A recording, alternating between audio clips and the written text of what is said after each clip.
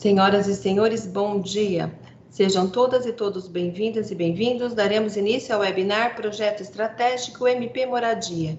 Apresentamos a mesa de abertura o excelentíssimo Dr. Mário Luiz Sarrubo, Procurador-Geral de Justiça do Estado de São Paulo, o excelentíssimo Dr. Paulo Sérgio de Oliveira e Costa, Procurador de Justiça, diretor da Escola Superior do Ministério Público, o excelentíssimo Dr. Mário Augusto Vicente Malaquias, Procurador de Justiça, secretário especial de Política Civil de Tutela Coletiva e coordenador-geral do Centro de Apoio Operacional das Promotorias de Justiça Cíveis de Tutela Coletiva. Convidamos o excelentíssimo senhor Dr. Mário Luiz Sarrubo, Procurador-Geral de Justiça do Estado de São Paulo, para a abertura do evento. Muito bom dia a todos, bom dia a todas. Sejam bem-vindos ao espaço virtual do nosso Ministério Público do Estado de São Paulo, espaço da nossa Escola Superior do Ministério Público, nosso Centro de Estudos e Aperfeiçoamento Funcional. O evento hoje é um webinar Projeto Estratégico MP Moradia. Sejam todos e todas muito bem-vindos e bem-vindas. Convidamos o Dr. Paulo Sérgio de Oliveira e Costa, diretor do Centro de Estudos e Aperfeiçoamento Funcional Escola Superior do Ministério Público, para sua saudação. Bom dia a todas e a todos. Um bom dia especial ao nosso Procurador-Geral de Justiça, Dr. Mário Luiz Sarrubo, onde eu também aproveito para cumprimentá-lo, já que esse webinar do projeto estratégico MP Moradia é um programa, é uma ação é, do Ministério Público visando é, a democratização da discussão dessa questão tão complexa na cidade de São Paulo, em todas as cidades brasileiras. Então, eu gostaria de cumprimentar a Procuradoria-Geral de Justiça, o Centro de Apoio Operacional Civil é, e Habitação e Urbanismo, nas pessoas do Dr. Mário Malaquias, o coordenador, na pessoa do Dr. Marcos Vinícius Monteiros dos Santos, que, na verdade, foi o grande idealizador desse evento, viu, Marcos? E eu gostaria de agradecer desde o início o chamamento da Escola Superior para que tivesse ao lado de vocês é, participando disso, tendo em vista que cumpre a nossa Escola Superior apoiar as ações é, dessa natureza, já que o que aqui será discutido reverterá em acréscimo ao conteúdo de formação de todos os integrantes, e aqui membros e servidores, que devem estar aptos a defender, na perspectiva do bem-estar da comunidade, ainda mais em época de pandemia, quando a, humanidade foi colocada em prova e as cidades brasileiras escancararam as suas profundas e complexas desigualdades, e o despreparo para momentos como estamos passando,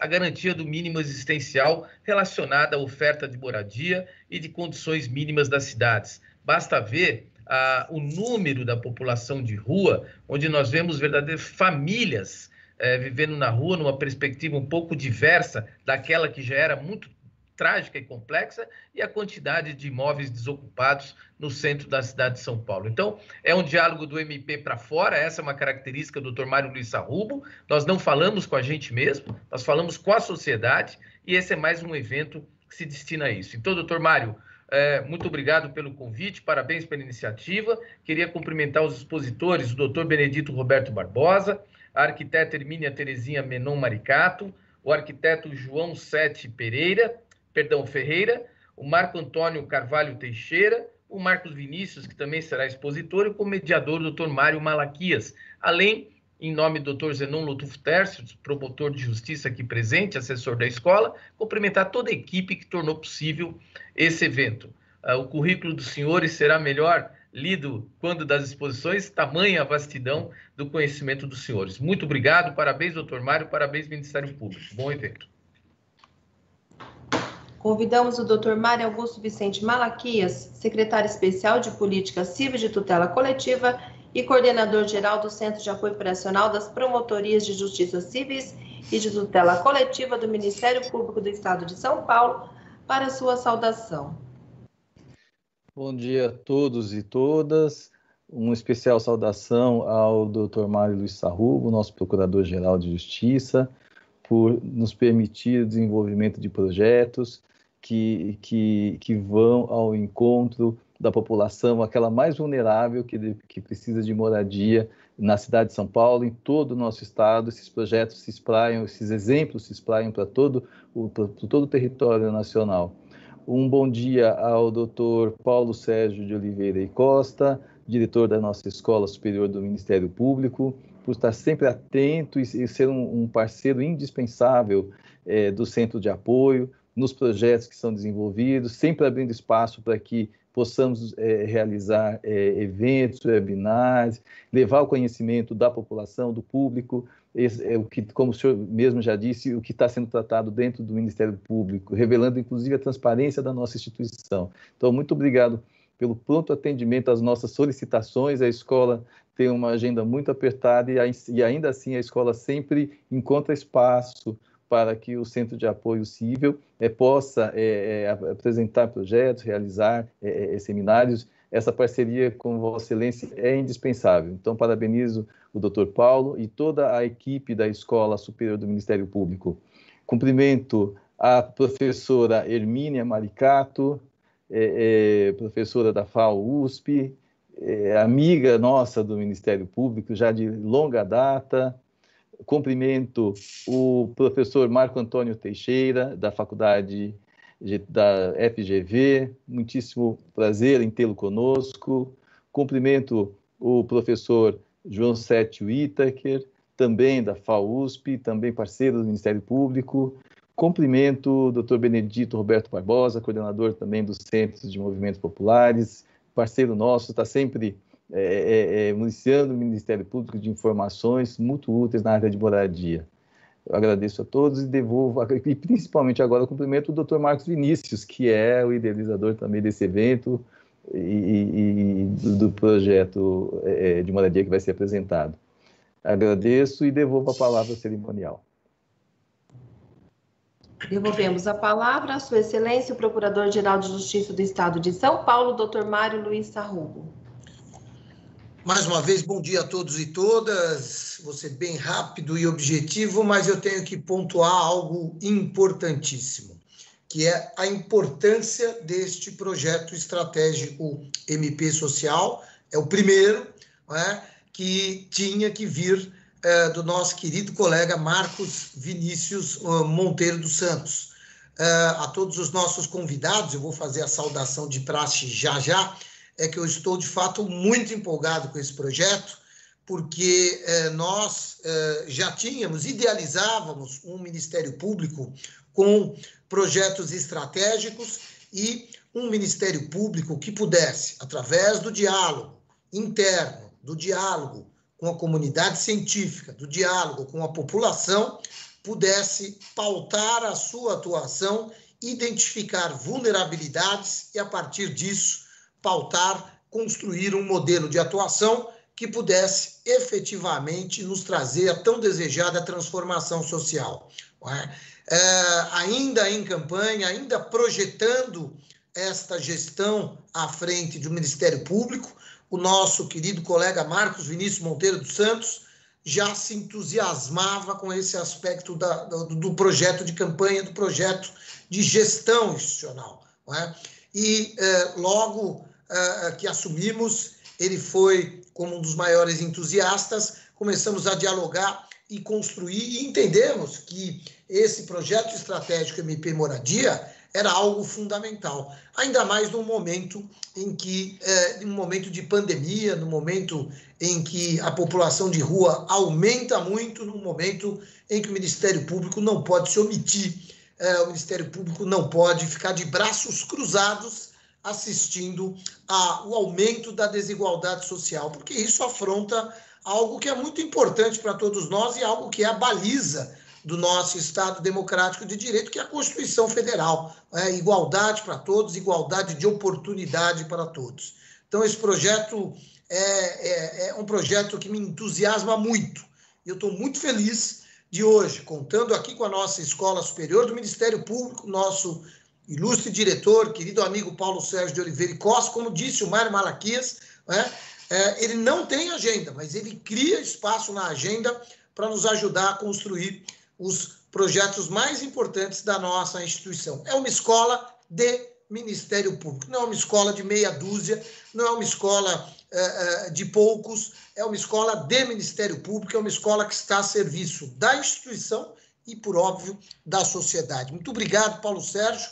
Em seu nome, cumprimento a toda a sua valorosa equipe de promotores de justiça e também de servidores. Mário Malaquias, muito obrigado mais uma vez, que está ao nosso lado uh, nesses projetos, nesse projeto de gestão do Ministério Público, é? uh, e contar com o seu entusiasmo sempre com as causas sociais. Tão importante, tão importantes porque nós precisamos, na verdade, o Ministério Público tem múltiplas atividades, múltiplas funções, eu digo mais, múltiplos deveres. Combate ao crime organizado, as questões ambientais, mas as questões que envolvem direitos humanos, habitação, esse nosso lado social é um lado também muito importante que não pode ficar de lado. É? E nós vamos ressaltar, realçar esse lado social da nossa instituição com esse projeto estratégico MP Social e com o nosso projeto estratégico, nosso, eu já digo nosso, viu, Marcos? Eu sei que é seu, mas é nosso, de coração, é, é, é, é o projeto estratégico MP Moradia. Então, obrigado, Mário Malaquias. Claro, uma saudação especialíssima àqueles da comunidade científica, dos movimentos populares que nos acompanham hoje. Né? Uh, o Benedito Roberto Barbosa é coordenador da Central de Movimentos Populares de São Paulo. Portanto, é alguém que está uh, uh, habilitado a discutir de forma franca e honesta conosco né, as questões de moradia. E o que dizer da professora Hermínia, do professor João Sete, do nosso cientista Marco Antônio, né, é, e todos aqueles que estarão debatendo conosco hoje. Então, uma grande alegria, as portas do Ministério Público. O Ministério Público é da sociedade. E nada melhor do que discutirmos com a sociedade os nossos projetos para que a gente possa atender cada vez melhor o destinatário do nosso trabalho, aqueles que acreditam na instituição uh, Ministério Público. Então, era isso que eu queria dizer. Me perdoem a empolgação, porque de fato é um momento muito especial para mim. O projeto estratégico MP Social, insisto, é algo que uh, eu diria uh, me incentivou a procurar assumir a Procuradoria-Geral de Justiça para mudar um pouquinho os rumos da nossa instituição, porque nós sentíamos, né, Marcos, Paulo Sérgio, Mário Malaquias, que era necessário essa esse desvio de prumo para resgatarmos um pouco, resgatarmos um pouco não, resgatarmos muito o nosso lado mais eh, social. É isso aí, vamos ouvir aí os nossos expositores, é muito importante esse debate. Muito, muito, muito obrigado a todos e todas pela disponibilidade em estar conosco nesta data. Devolvo a palavra ao cerimonial e vamos aí que tenhamos uma excelente e produtiva manhã.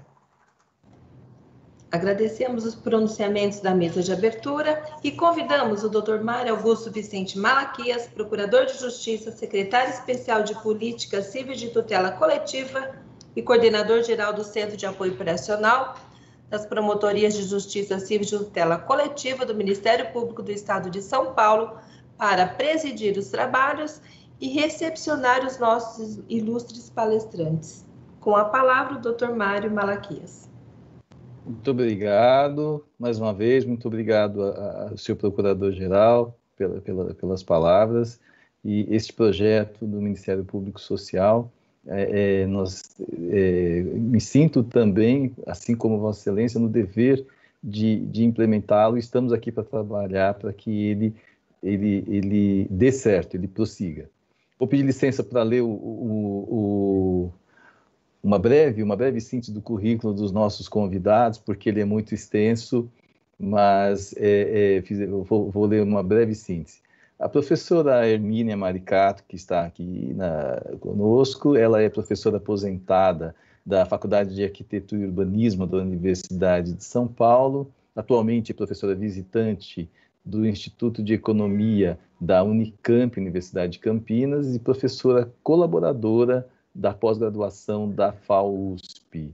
Ela é fundadora do Laboratório de Habitação e Assentamentos Humanos da Faculdade de Arquitetura e Urbanismo da USP, ela foi secretária de Habitação e Desenvolvimento Urbano é, de 1989 a 1992. No governo federal, ela foi secretária executiva do Ministério das Cidades de 2003 a 2005.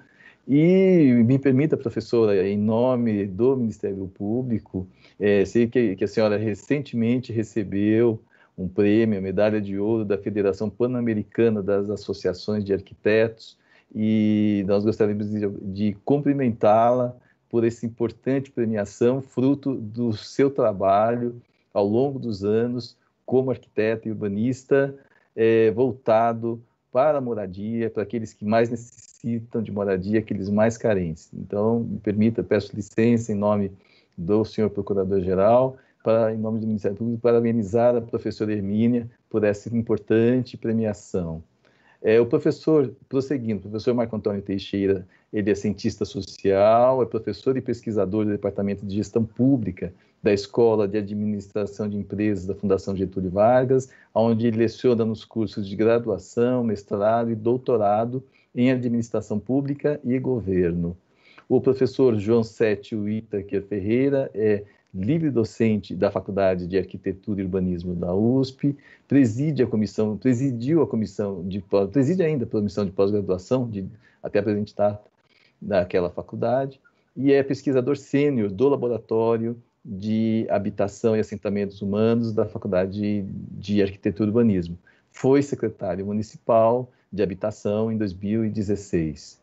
O Dr. Benedito Roberto Barbosa advogado, coordenador da Central de Movimentos Populares de São Paulo e advogado do Centro Gaspar Garcia de Direitos Humanos e da União de Movimentos de Moradia de São Paulo.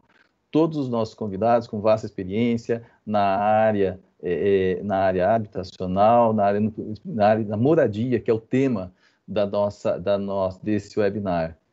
É, o tema moradia, ele vem sendo tratado pelo Ministério Público, gostaria de deixar bem remarcado, já há algum tempo. E aqui eu, eu, eu me permito a, a, a, falar com os colegas mais antigos aqui, da, os que estão na instituição, os mais antigos da instituição, é, é, que, que vão se lembrar que nós, ao tempo, da, ao tempo do antigo núcleo de, de, de regularização de parcelamentos, de loteamentos, é, isso antes da, da, atual lei orgânica do Ministério Público, nós já cuidávamos especificamente da área ligada à moradia, ligada à habitação. E com o, o, passar do tempo, a instituição evoluiu e foi, foi, veio, foi promulgada a atual lei orgânica estadual do Ministério Público e no Ministério Público criada a promotoria de habitação e urbanismo. É, porém, o que nós temos visto ao longo dos anos é que o problema da moradia ele tem se agravado, principalmente na cidade de São Paulo. Nós ainda não temos uma moradia adequada para a população de baixa renda, ainda a, o mercado formal, e aí é que a professora Hermínia conhece melhor para falar, esse mercado formal, ele não atende a essa população, que ela vai, ela é levada para as franjas da cidade, para aquelas áreas, inclusive essa expressão que eu vou usar é uma expressão que eu aprendi com a professora Hermínia, que elas vão ocupar aquelas áreas ambientalmente mais frágeis. Me lembro que de uma aula da professora Hermínia, onde ela usa essa expressão. Daí, esse, esse, esse decorrência desse déficit habitacional, a população vai para essas localidades aonde, é, é, infelizmente, há um conflito, inclusive, com o meio ambiente. Esse déficit habitacional ele tem que ser enfrentado, é, devemos sensibilizar as gestões públicas para que é, isso possa ser enfrentado, mas e aqui está o papel do Ministério Público, aonde chama a academia, aonde chama os professores,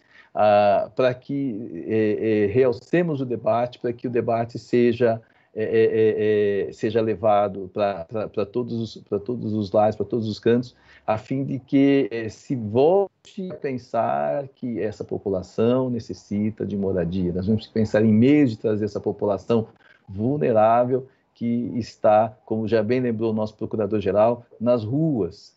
E tivemos alguns programas que realmente eh, que, que, que fizeram e que, que, tentaram eh, minimizar esses efeitos, mas ainda há ainda um déficit, um déficit habitacional muito grande e a falta de moradia é, é na cidade de São Paulo e em todo o Brasil. A gente não, não precisa, não precisa lendo o jornal, a gente já verifica esses, esses problemas em todo o Brasil é um tema importante, é um desafio para todos os governantes, é um desafio para todos nós.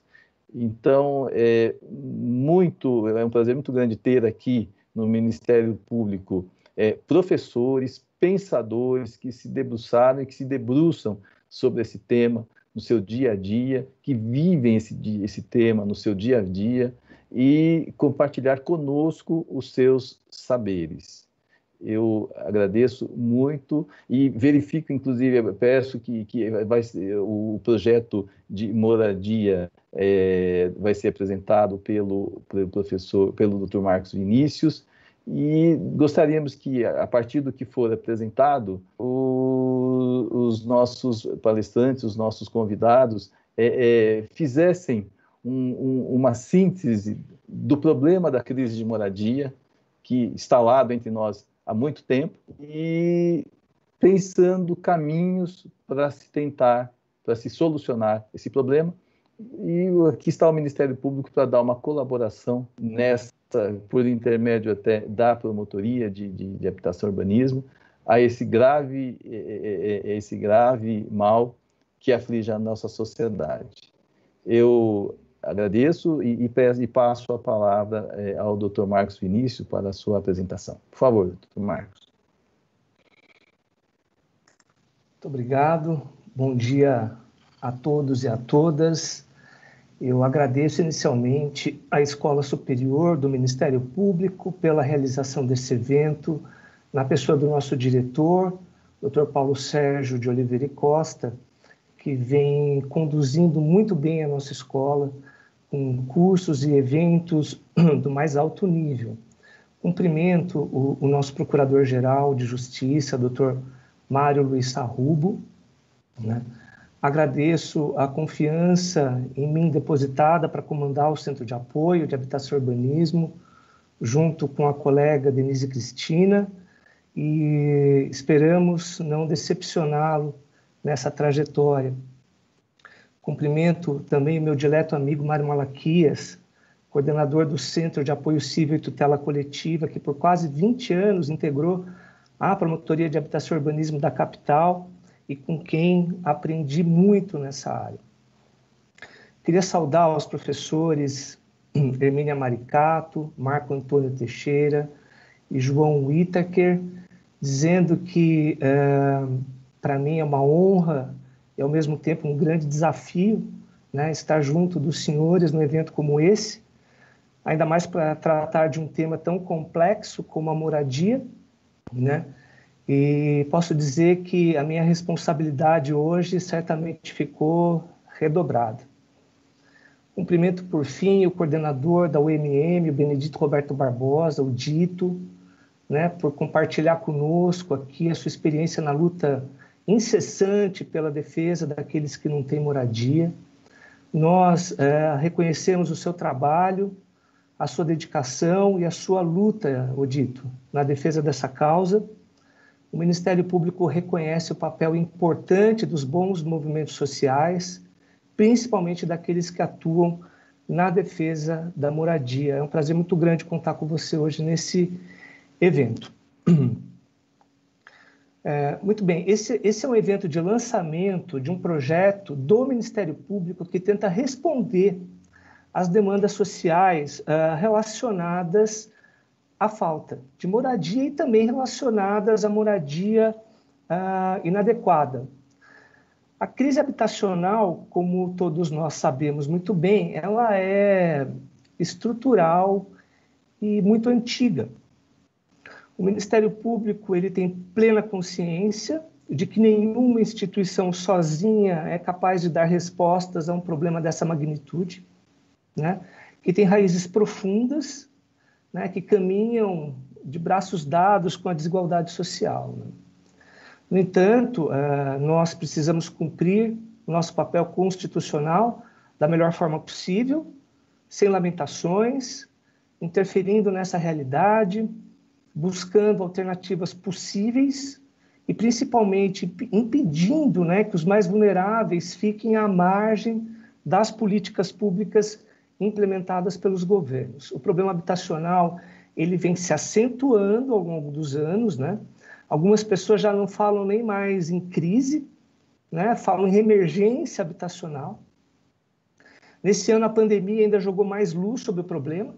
Muitas pessoas que não se importavam começaram a perceber a sua real dimensão, né? Viram que não era possível, por exemplo, o distanciamento social em favelas, e mesmo entre a população em situação de rua, e que era necessário uh, fazer alguma coisa. O, o enfrentamento do, do, problema da falta de moradia talvez seja o primeiro passo para nós conseguirmos resolver diversos outros problemas sociais. Né? Essa é uma questão hoje muito discutida. O projeto estratégico MP Moradia nasce, então, da necessidade de uma atuação mais objetiva e mais coordenada do Ministério Público nessa área. É preciso dizer que esse problema chega até nós, promotores, de diversas formas, né? de conflitos possessórios, passando por moradores em situação de rua, uh, discussão sobre critérios de destinação de unidades habitacionais construídas, núcleos habitacionais precários, áreas de risco, execução orçamentária, etc as representações elas chegam das mais variadas formas e pelos mais variados motivos, né? E a ideia central é que todos esses temas não sejam mais trabalhados de forma pontual e nem de forma fragmentada. O projeto ele reforça a necessidade de um, de um trabalho é, integrado, colaborativo, coordenado, uh, muitas vezes regionalizado, né? e que evite ao máximo a judicialização e que dialogue com todos os atores uh, envolvidos.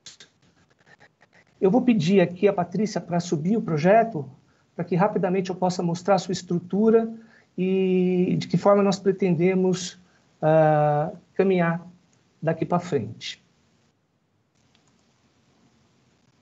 Muito bem, o objetivo uh, do projeto é, é, esse: integrar a atuação dos promotores de justiça, de habitação e urbanismo do Estado de São Paulo no enfrentamento da crise habitacional e dos conflitos uh, fundiários urbanos, mediante iniciativas uniformizadas, voltadas à efetivação do direito social à moradia, com foco em soluções adequadas para garantia dos princípios da função social da propriedade da dignidade da pessoa humana e do não retrocesso social.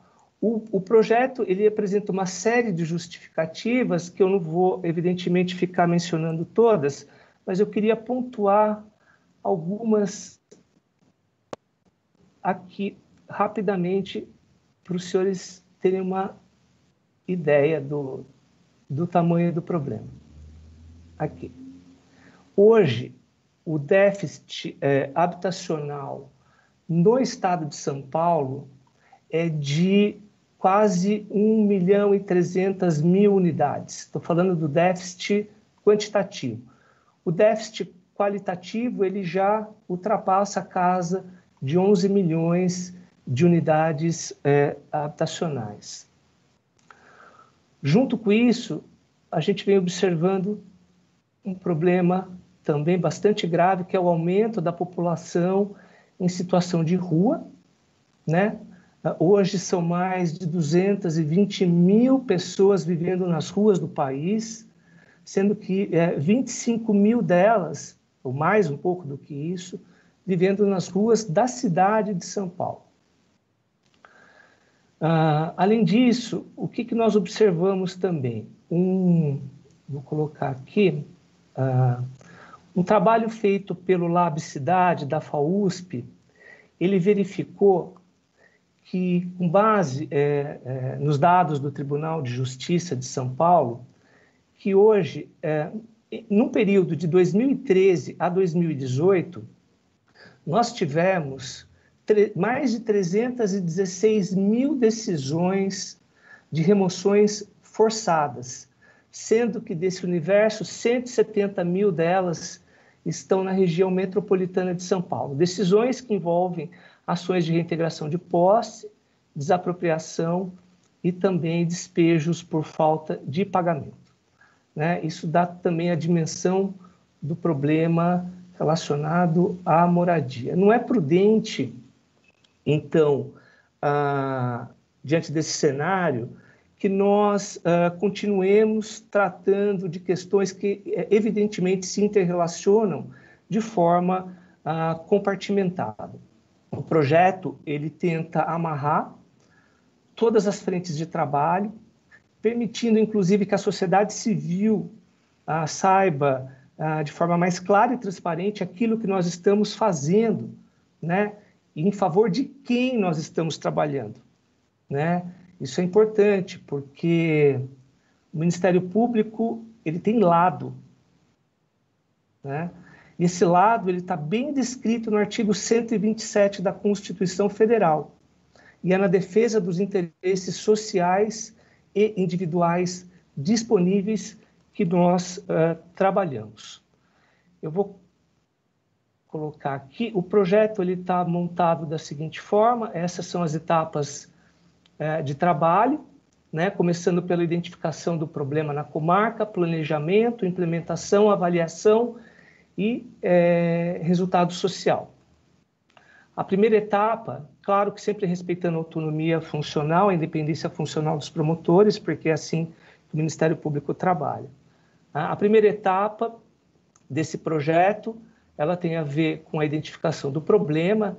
Né? Nós, a partir de agora, instauraremos procedimentos específicos, né? inquéritos civis ou procedimentos de acompanhamento de políticas públicas para começar a reunir as informações, né? dados da realidade local dos municípios ou das regiões. A partir daí, vamos padronizar rotinas e começar a fazer um alinhamento uh, institucional.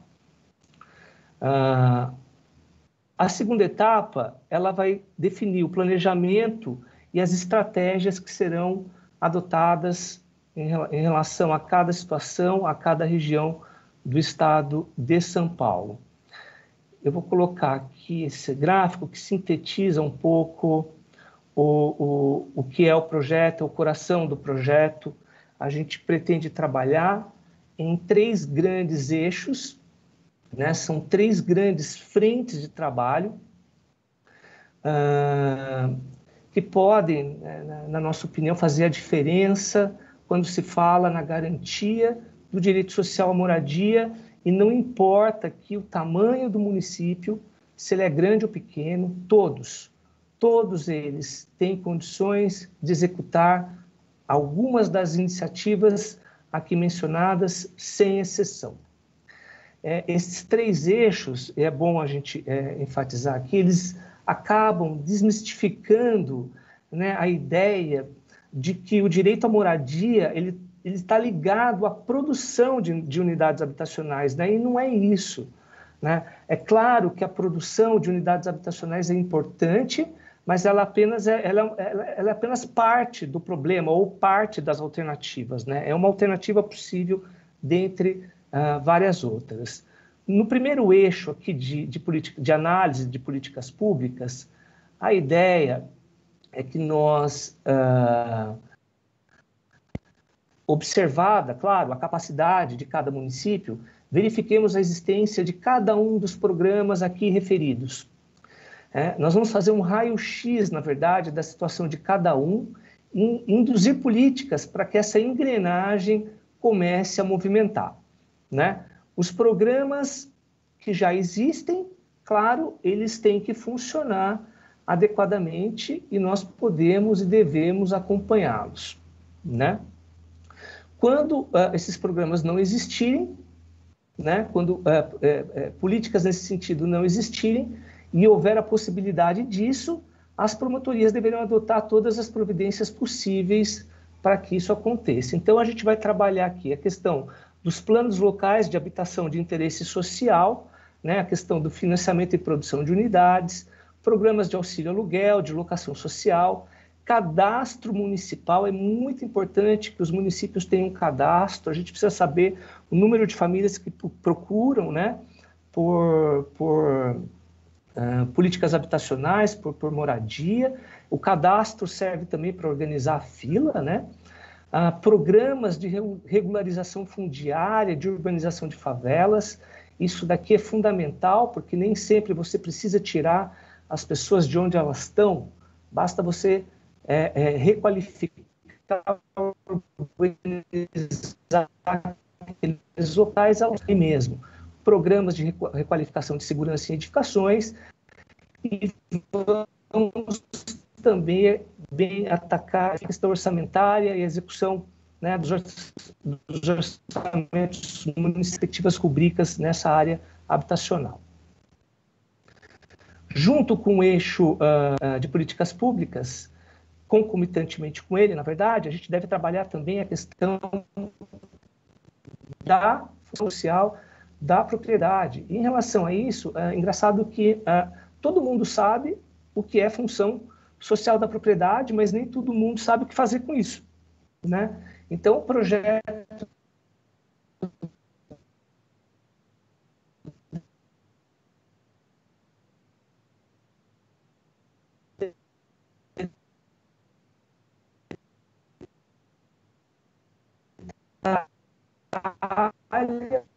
algumas iniciativas importantes que devem ser tomadas né, em todos os municípios.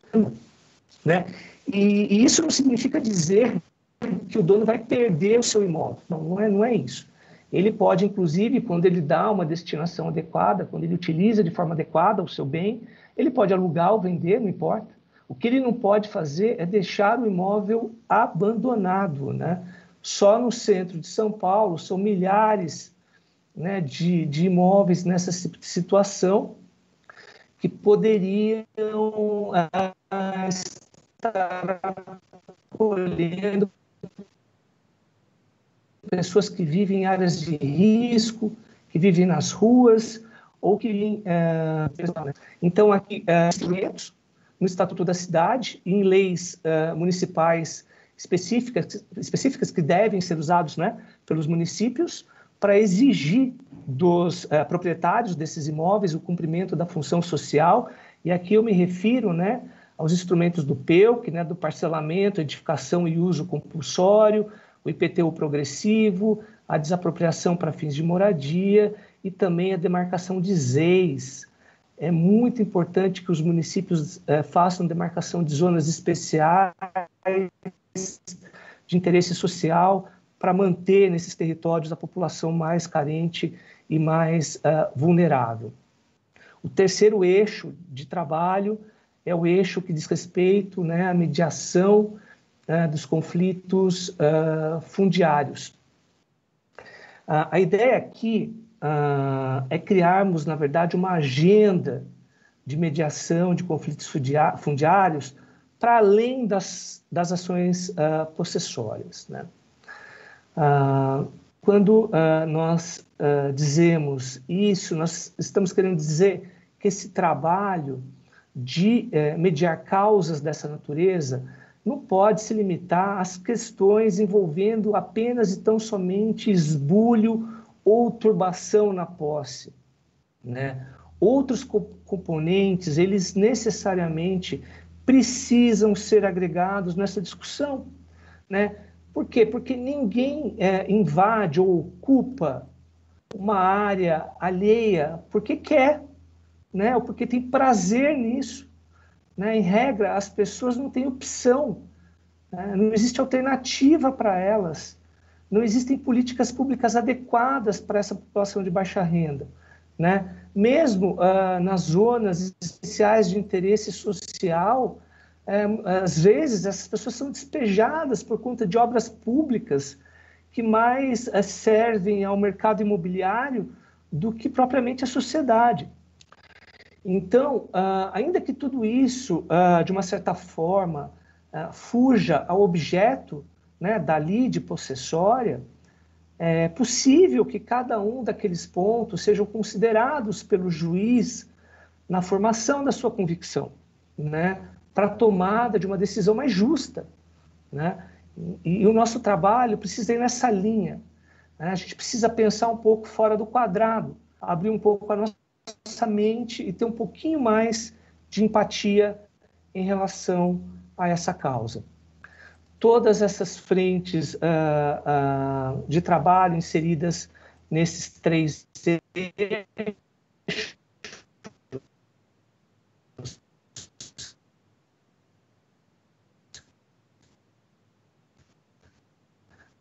trarão as alternativas de cada município e em cada região do estado para o enfrentamento é, do problema. Na fase de implementação, eu vou avançar um pouco aqui por conta do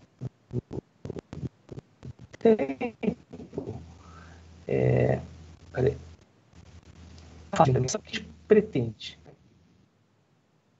Ah, na fase de implementação, ah, as informações é, que serão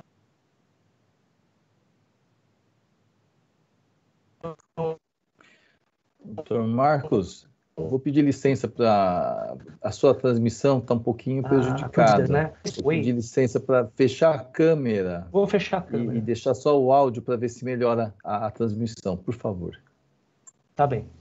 É, nessa fase de implementação, todas as informações, então, elas serão é, espacializadas, elas serão já referenciadas. Né? Ou seja, no mapa do estado de São Paulo, nós, a partir de agora, poderemos ver os municípios né, que não têm, por exemplo, políticas é, habitacionais ou que não executam adequadamente seus orçamentos ou não investigam o descumprimento da função social da propriedade, não aplicam os instrumentos do Estatuto da Cidade, etc, etc.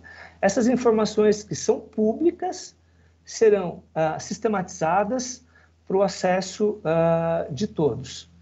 E a partir daí os promotores terão uma visão ah, extremamente ampla da situação, né? terão condições de avaliar o problema sobre outra perspectiva e aí tomar as melhores decisões. Uh, passo aqui para um fluxo de trabalho, né? As promotorias elas vão enviar as informações através de formulários né, fáceis de preencher, isso não vai dar trabalho nenhum para os colegas, ao centro de apoio, que vai georreferenciá-las, vai tabular os dados e vai ah, fazer a integração das atuações e publicizar os trabalhos. E as promotorias, junto com o centro de apoio, vão estabelecer as estratégias, né, de atuação e verificar quais seriam ou serão as atuações, as soluções mais adequadas para cada município ou para cada uh, região. Depois, a, a, gente já passa para a fase da avaliação e do, do, do resultado, né? Rapidamente colocar aqui também a quarta etapa, a etapa da, da avaliação. E nessa etapa, ah, nós ah, pretendemos fazer re reuniões de alinhamento, de correção de rumo. Isso vai ser ah, nesse projeto aqui a gente não tem compromisso nenhum com o erro, né? Sempre que for necessário, as rotas eh, serão corrigidas, né? Relatórios eh, semestrais serão produzidos e as boas práticas serão divulgadas para auxiliar no trabalho dos colegas. E depois, a, a, a última fase, claro, do projeto, aqui rapidamente, é, esse gráficozinho aqui detalha um pouco, sintetiza o que a gente quer com o projeto, né? na verdade, ampliação do olhar do Ministério Público sobre um problema tão grave como esse, né? o trabalho coordenado e colaborativo em todas as frentes possíveis, né? a interação com a sociedade civil, que é fundamental, e aí a tentativa de efetivação do direito social à moradia. E na quinta, na quinta e última etapa, a aferição do resultado, ao final de três anos, né, o projeto ele tem três anos ah, de duração, serão feitas local e regional, ou regionalmente, conforme o caso, audiências públicas devolutivas, né, no sentido de, de mostrar à sociedade como era a situação antes né, do início dos trabalhos e como ficou no final do período. Né? o que não existia e o que passou a existir, o que não, o que não funcionava e o que passou uh, a funcionar. Né? E aí ouvir né, essa mesma sociedade, que é a destinatária do nosso trabalho, as críticas e as uh, sugestões que forem apresentadas. O projeto tem um cronograma que será cumprido por todos nós, o centro de apoio é o gestor do projeto e vai levar tudo isso aqui à risca. Então, tendo em vista já o avançado aqui da hora, eu uh, termino aqui a minha primeira participação uh, dizendo uh, que esse projeto ele é plenamente execuível, né? e que o Ministério Público tem condições reais de interferir ah, na realidade de forma mais efetiva, melhorando a vida das famílias que não têm teto ou daquelas que vivem em condições muito precárias, né? As soluções uh, ideais talvez não sejam alcançadas, né? Mas temos plenas condições de buscar as soluções possíveis, né? Nós uh, promotores, estamos em todos os municípios do estado, né? Temos um rol de instrumentos à nossa disposição. Temos o inquérito civil, temos poder de requisitar documentos, requisitar informações, temos a possibilidade de recomendar, temos a possibilidade, temos ação civil pública e ação penal, né? Mas nós temos mais do que isso, né? Nós temos a capacidade de dialogar nós temos a capacidade de mediar conflitos coletivos, né, colocando ah, todos os atores envolvidos em torno da mesma mesa. Então, ah, com muito otimismo e com muita vontade, eu devolvo a palavra ao nosso mediador, agradecendo pela oportunidade e permanecendo aqui à disposição de todos. Eh, muito obrigado. Marcos, muito obrigado. Mais uma vez, parabéns pelo projeto, sensacional, importantíssimo para o Ministério Público. É, eu queria só resumir o que, o que, o que você, a sua apresentação é, é em, duas, é, em, em, duas expressões. É, você falou, o Ministério Público, é, por intermédio desse, desse, projeto, ele tem que ter, você demonstra claramente isso, empatia, eu acho que isso é importante, empatia com a causa, empatia com a causa daquele que mais precisa, daquele vulnerável. A gente tem que ter um olhar diferente, um olhar diferenciado, né? Não é mais o dito talvez vai falar sobre isso. Desculpa a, a, a informalidade. Quando a gente verifica a, a, a forma como é tratada as ações possessórias, então é necessário empatia e principalmente quando você aborda a resolutividade, ou seja, trazemos para nós a responsabilidade do Ministério Público de tentar solucionar é, essas questões mediante a mediação de conflitos, mediante a pacificação. Né? O Ministério Público está tentando estabelecer a cultura da paz nessa, nessa, nesse projeto. Importantíssimo. Me, me permita a empolgação e, e falei essas expressões. Professora Hermínia, imediatamente, a palavra é sua. Muitíssimo obrigado. Olá, bom dia a todos. Eu estou muito feliz, mas estou muito feliz, gente, de, de estar aqui com vocês. É, agradeço muito esse convite, é, agradeço as palavras é, do doutor Mário Luiz Sarrubo, sem dúvida nenhuma, música para os meus ouvidos, do Paulo Sérgio, doutor Paulo Sérgio de Oliveira Costa, e o Malaquias, o doutor Malaquias, que, com quem nós tivemos parceria, acho que até antes da lei orgânica do Ministério Público, se eu não me engano. Nós fizemos com o Ministério Público na USP uma pesquisa na, nos anos 90 sobre preço de desapropriações de terra para políticas públicas, porque o poder público precisa construir creches, escolas, abrir praças e tem que pagar preços altíssimos por terras que, foi, que foram urbanizadas com recursos públicos e que subiram de preço por causa disso. E essa pesquisa até hoje tem sido muito usada e é uma referência. Né? Bom, O Marcos é, Vinícius Monteiro dos Santos, o doutor Marcos, é promotor de Justiça de Habitação e Urbanismo da capital e coordenador do Centro de Habitação e Urbanismo do Ministério Público, me proporcionou uma grata surpresa quando eu li o relatório, esse, aliás, quando eu li essa proposta de projeto estratégico, uh, e, e, tive também uma outra surpresa, não é? Participou da elaboração desse relatório duas funcionárias de vocês, a Ângela Piloto e a Renata Gonçalves, e a Ângela Piloto é minha orientanda de doutorado, muito querida, que está fazendo uma pesquisa muito importante. Então, eu já me sinto envolvida e queria dizer para você, a vocês que foram muitas eh, na minha vida, há mais de 50 anos atuando em política urbana e habitacional, que, que eu tive essa sensação de que agora vai. É? Agora o Ministério Público tem um projeto, agora nós vamos conseguir dar um salto. A primeira vez que eu tive essa sensação foi quando eu fui escolhida para defender a proposta de reforma urbana na Assembleia Nacional Constituinte pelos movimentos sociais. Nós tínhamos uma proposta de emenda popular constitucional, de iniciativa popular.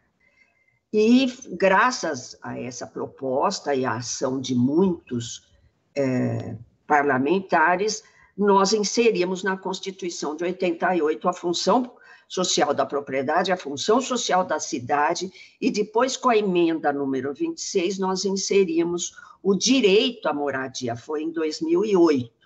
Né?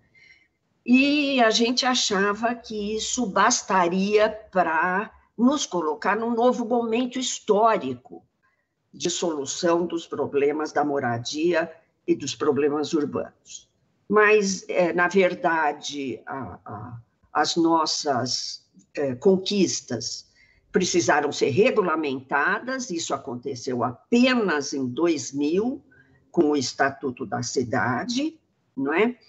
E mesmo assim, o Estatuto da Cidade remeteu as soluções ao plano diretor, e mesmo assim, pasmem, não sei se vocês conhecem, a, a pesquisa da professora Rosana Denaldi, da Universidade Federal do ABC, ela fez uma pesquisa em todas as cidades com mais de 100 mil habitantes.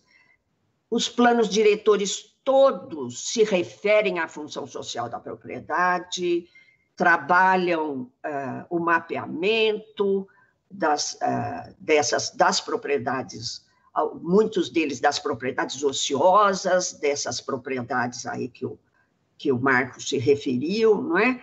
Mas vocês sabem quantos municípios aplicaram o Estatuto da Cidade nas seus três instrumentos para implementar a função social da propriedade no Brasil, pela pesquisa da professora Rosana Denaldi?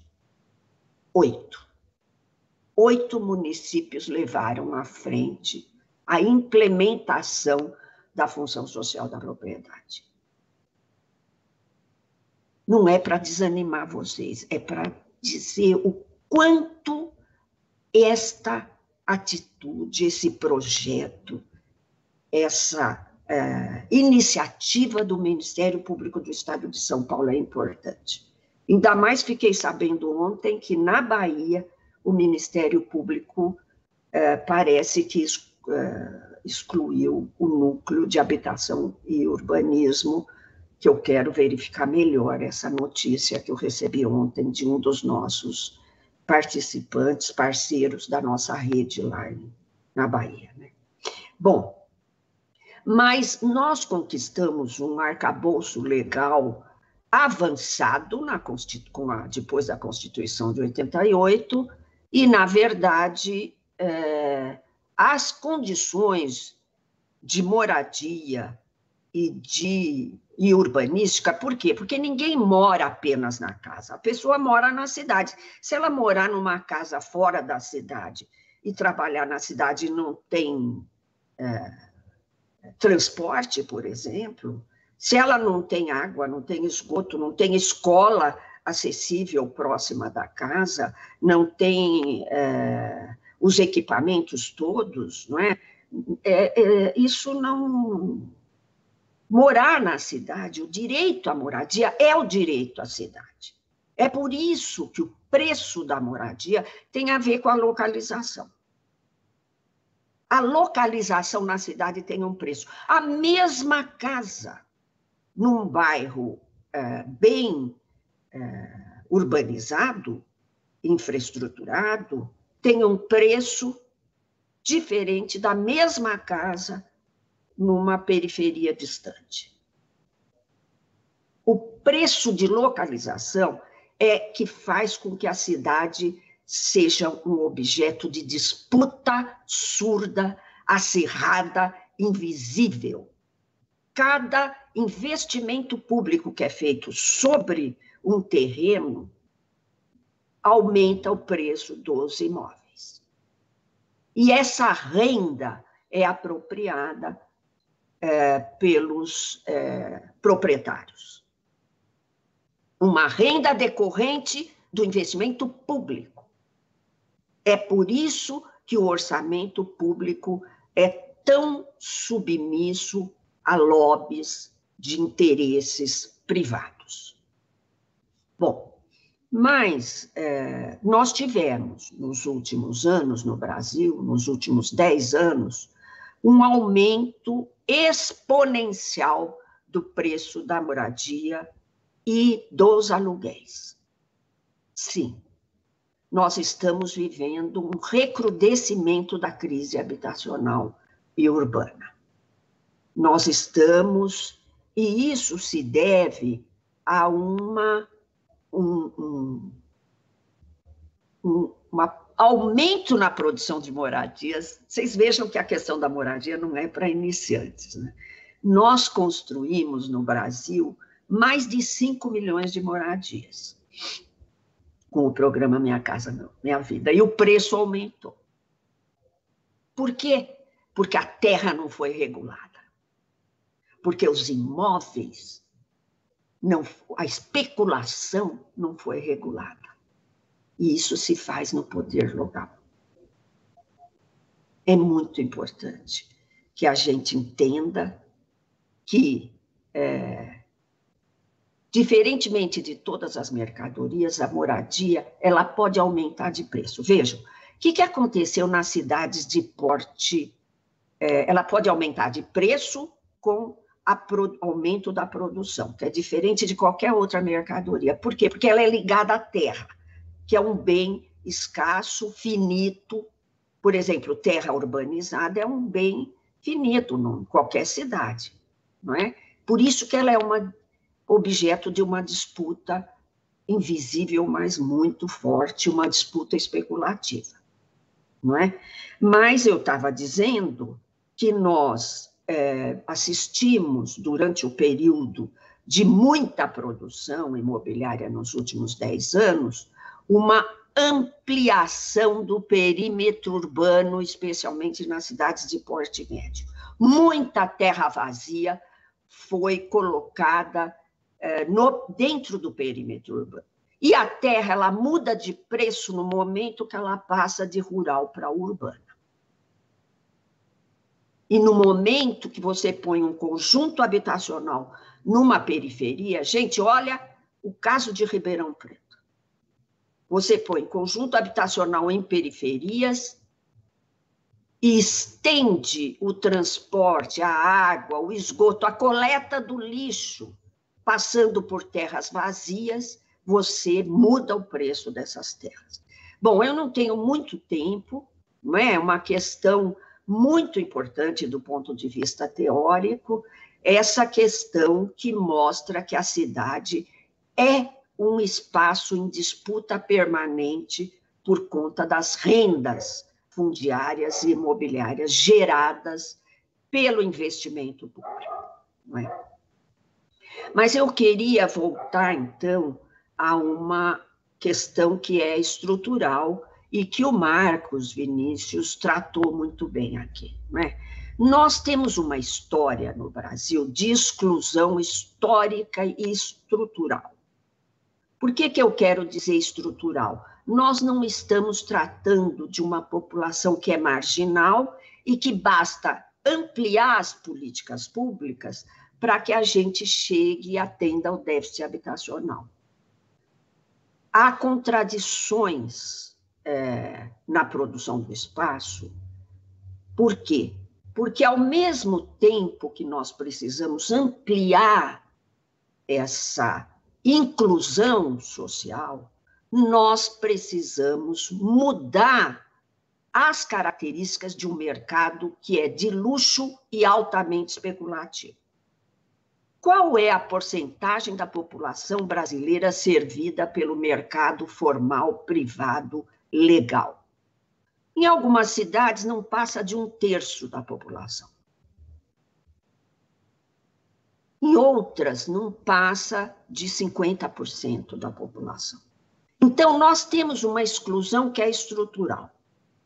50% da população é só tem acesso à moradia pelas políticas públicas. E nós temos políticas públicas deficientes, porque elas acontecem com, como voos de galinha. A época do BNH, a época do Minha Casa Minha Vida, é, políticas é, públicas municipais, estaduais, é, e então não, essa exclusão estrutural faz com que grande parte da nossa população, a maior parte nas metrópoles, tenha que resolver o seu problema de moradia de forma informal. Isso quer dizer de forma ilegal. Por quê? Porque nós temos um conjunto de leis que são bastante detalhistas. Código de obras, lei de zoneamento, parcelamento do solo, a legislação ambiental, bastante avançada, as leis federais de saneamento, resíduos sólidos, mobilidade, os planos diretores, todo esse conjunto de leis, grande parte da produção das nossas grandes cidades não leva em consideração não tem trabalho de arquitetos, de engenheiros, de advogados, que são muito importantes, de eh, geógrafos, de assistentes sociais. É a chamada autoconstrução da moradia. Eu fiz um filme, gente, em 1975, com o Renato Tapajós, de diretor. Vocês acham lá na, na na internet, chama Fim de Semana, 75, sobre essa produção que é mais regra do que exceção. O povo construindo a própria casa, em áreas ou ocupadas de forma totalmente ilegal, ou ilegal porque é, são parcelamentos é, ilegais, áreas compradas o que, que acontece na área de proteção dos mananciais hoje em São Paulo, que são protegidas? Hoje não. Eu acompanho isso há 50 anos, literalmente.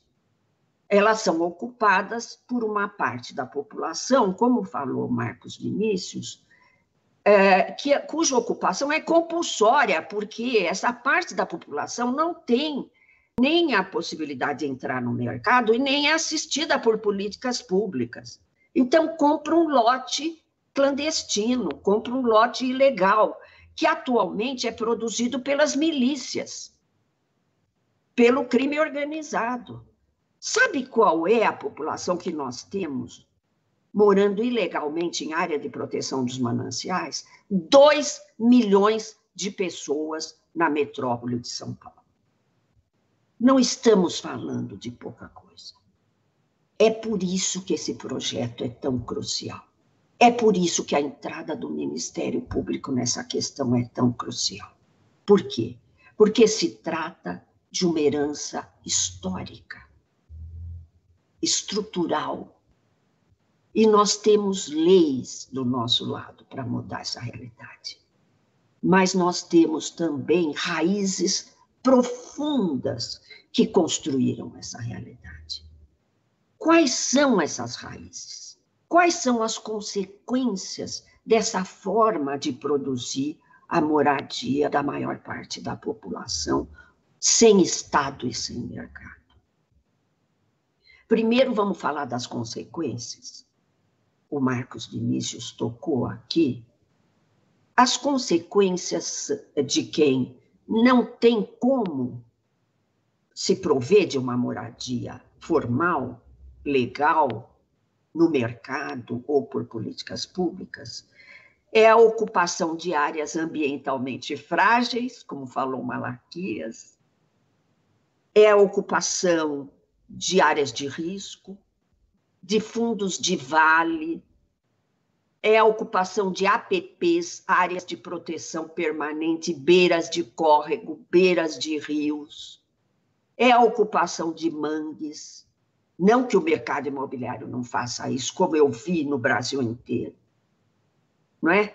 Mas é uma regra a população pobre ocupar essas áreas, não é?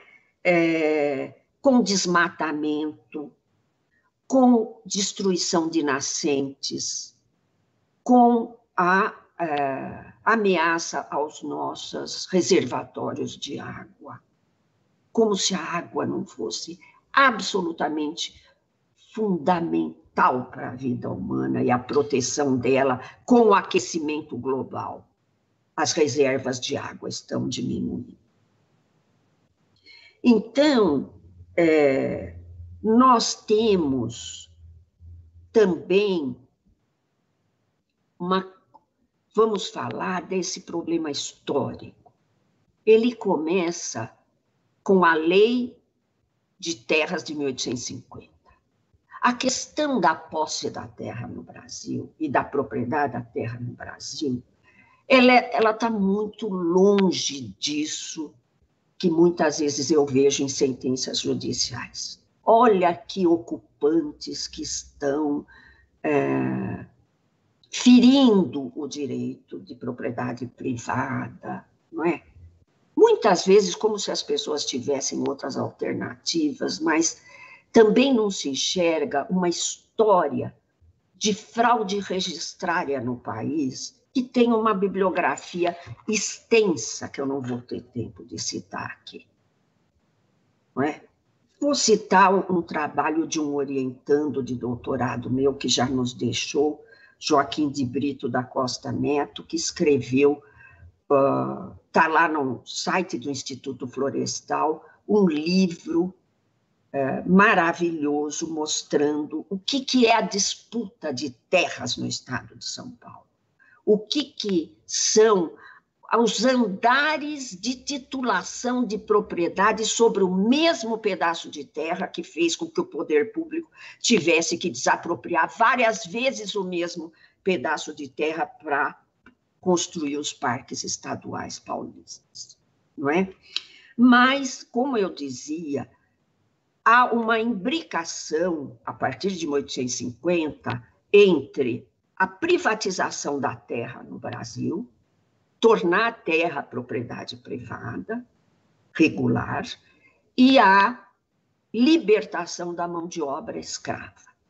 Para não perder o controle sobre a produção, a nossa oligarquia atrasou a libertação dos escravos até 1888 quando foi possível aquilo que José de Souza Martins chama a libertação dos escravos e a escravização da terra, para manter o controle sobre a produção.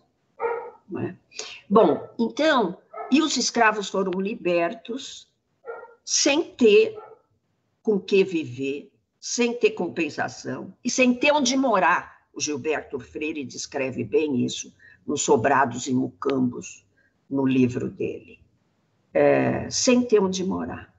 E aí começa toda uma tradição de urbanização no Brasil com ocupação ilegal de terras, das terras inadequadas para a ocupação. Bom, mas eu não tenho muito tempo para falar dessa história. não é?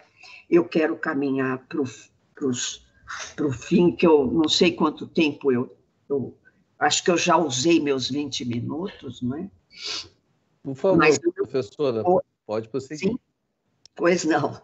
Mas eu quero é, lembrar uma coisa muito importante, que é, é o processo de urbanização no Brasil é muito recente.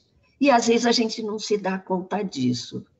É, nós começamos o século XX com 10% da população na cidade. Vocês imaginem, 10%.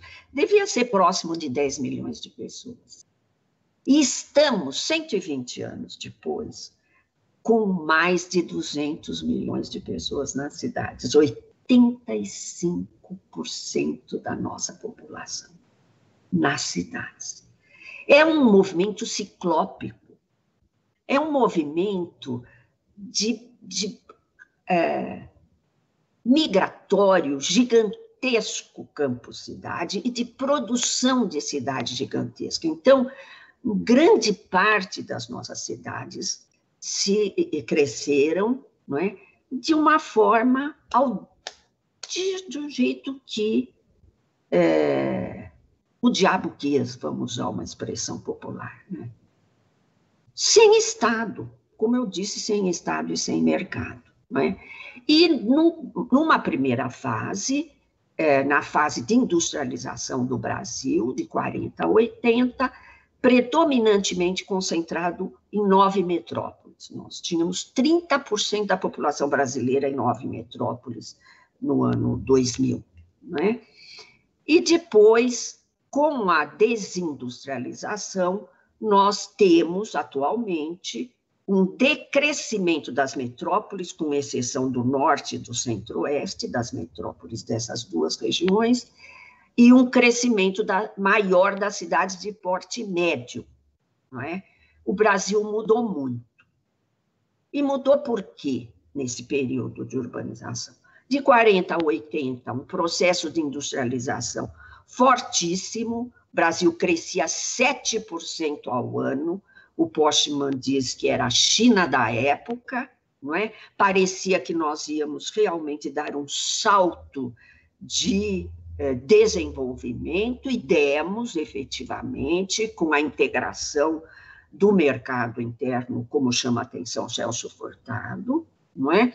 Mas a partir de 1980, com a mudança global, mundial, com a hegemonia ultraliberal a partir de 1980, nós no, começamos a desindustrialização brasileira, que, que realmente foi, é, que tem muito a ver com a tragédia que nosso país é, vive atualmente, não é?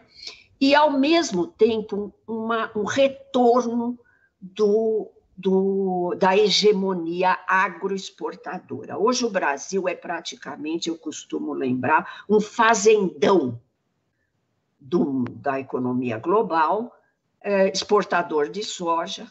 Mas é tão maluco essa, essa economia, gente, que vocês viram que o Brasil exporta soja para a China, é o maior, maior exportador, e importou soja dos Estados Unidos para manter o preço no mercado interno. Quer dizer, é, é, é uma viagem inútil dos alimentos, mas mantém a lógica financeira e produtiva né, da economia global e pesando sobre o aquecimento global. Viagens planetárias para. É, não, não, vamos, não é nosso tema aqui, vamos passar rápido sobre isso, né? mas sobre o fazendão, nós somos hoje um dos maiores exportadores de carne de, so, de grãos, de minérios, de etanol, não é? E por isso que nós estamos vendo também nosso país passar por uma revolução no uso e na ocupação das terras é, em direção à Amazônia e ao Centro-Oeste. Né? Bom, finalmente eu queria fixar numa, para terminar, numa é, tese aqui muito importante para nós todos, professores, urbanistas e Ministério Público, é, com essa importantíssima missão de defesa do interesse social. Né? Nós temos leis avançadas e uma realidade atrasada. E muito, uma certa dificuldade de aplicar a lei nessa realidade, né? até com algumas regressões nos últimos anos. Né? Então, é, a gente precisa pensar, eu achei esse plano, preciso realmente parabenizar novamente o Marcos Vinícius e vocês todos, a Escola Superior do Ministério Público, por essa essa iniciativa, né? Nós precisamos aplicar a lei no Brasil. Eu sempre digo isso. Olha, se a gente aplicasse a lei, já, já estaria de bom tamanho, né? Conter um mercado especulativo que segura propriedades é, ociosas. Em São Paulo, mais de 400 mil imóveis. O déficit poderia ser resolvido com os imóveis vazios. É, e a maior parte deles, eu tenho, estou orientando um doutorado na, é, da Ana Caixe, Gabriela Caixe, a maior parte deles na área central da cidade, senhores. A área onde tem metrô, a área onde tem trens que chegam na metrópole todo, a área onde tem o melhor transporte coletivo, onde tem hospitais, onde tem escolas, onde tem a melhor infraestrutura, financiada com o dinheiro de toda a coletividade. A maior parte dos imóveis vazios estão nessa área. E a cidade de São Paulo não conseguiu até hoje avançar muito na aplicação dos instrumentos do Estatuto da Cidade houve uma tentativa há pouco tempo e nós estamos vendo a falta de vontade do poder municipal de atual de andar com isso. Aliás, é tão impressionante que a parceria público-privada Casa da Família, que pretende produzir moradia social, está despejando pessoas que não tem alternativa, o dito, o doutor Benedito sabe melhor do que eu sobre esse assunto. Então, nós precisamos conter a especulação com terras vazias, com imóveis ociosos, fazer valer a função social da propriedade, fazer valer os três instrumentos, a PEUC, o IPTU progressivo e a desapropriação com títulos da dívida pública que estão no Estatuto da Cidade. Nós precisamos garantir investimento que não seja regressivo. Olha, estou cansada de ver investimento nas cidades que aprofundam a desigualdade. Cansada de assistir isso.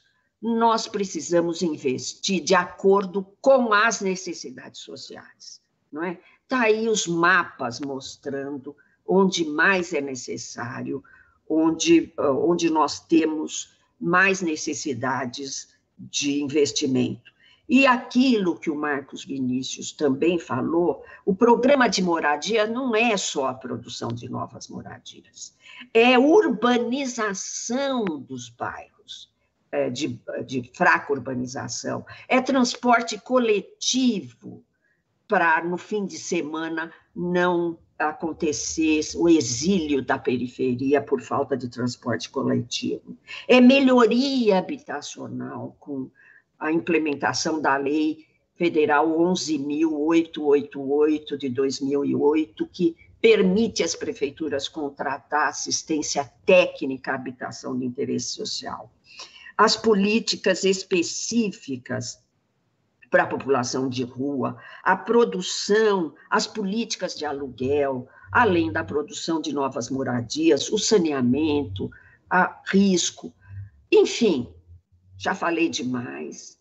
Quero dizer para vocês aquilo que eu digo muito e que os estudantes até já fizeram meme, eu falando, temos planos, temos leis, temos assistência, temos capacidade técnica, precisamos implementar os planos, precisamos implementar as leis.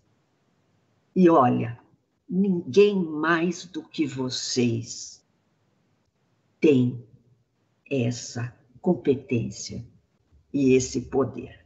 Ninguém está pedindo para vocês fazerem milagre, por favor, porque é, mudar rapidamente esse panorama é, é impossível.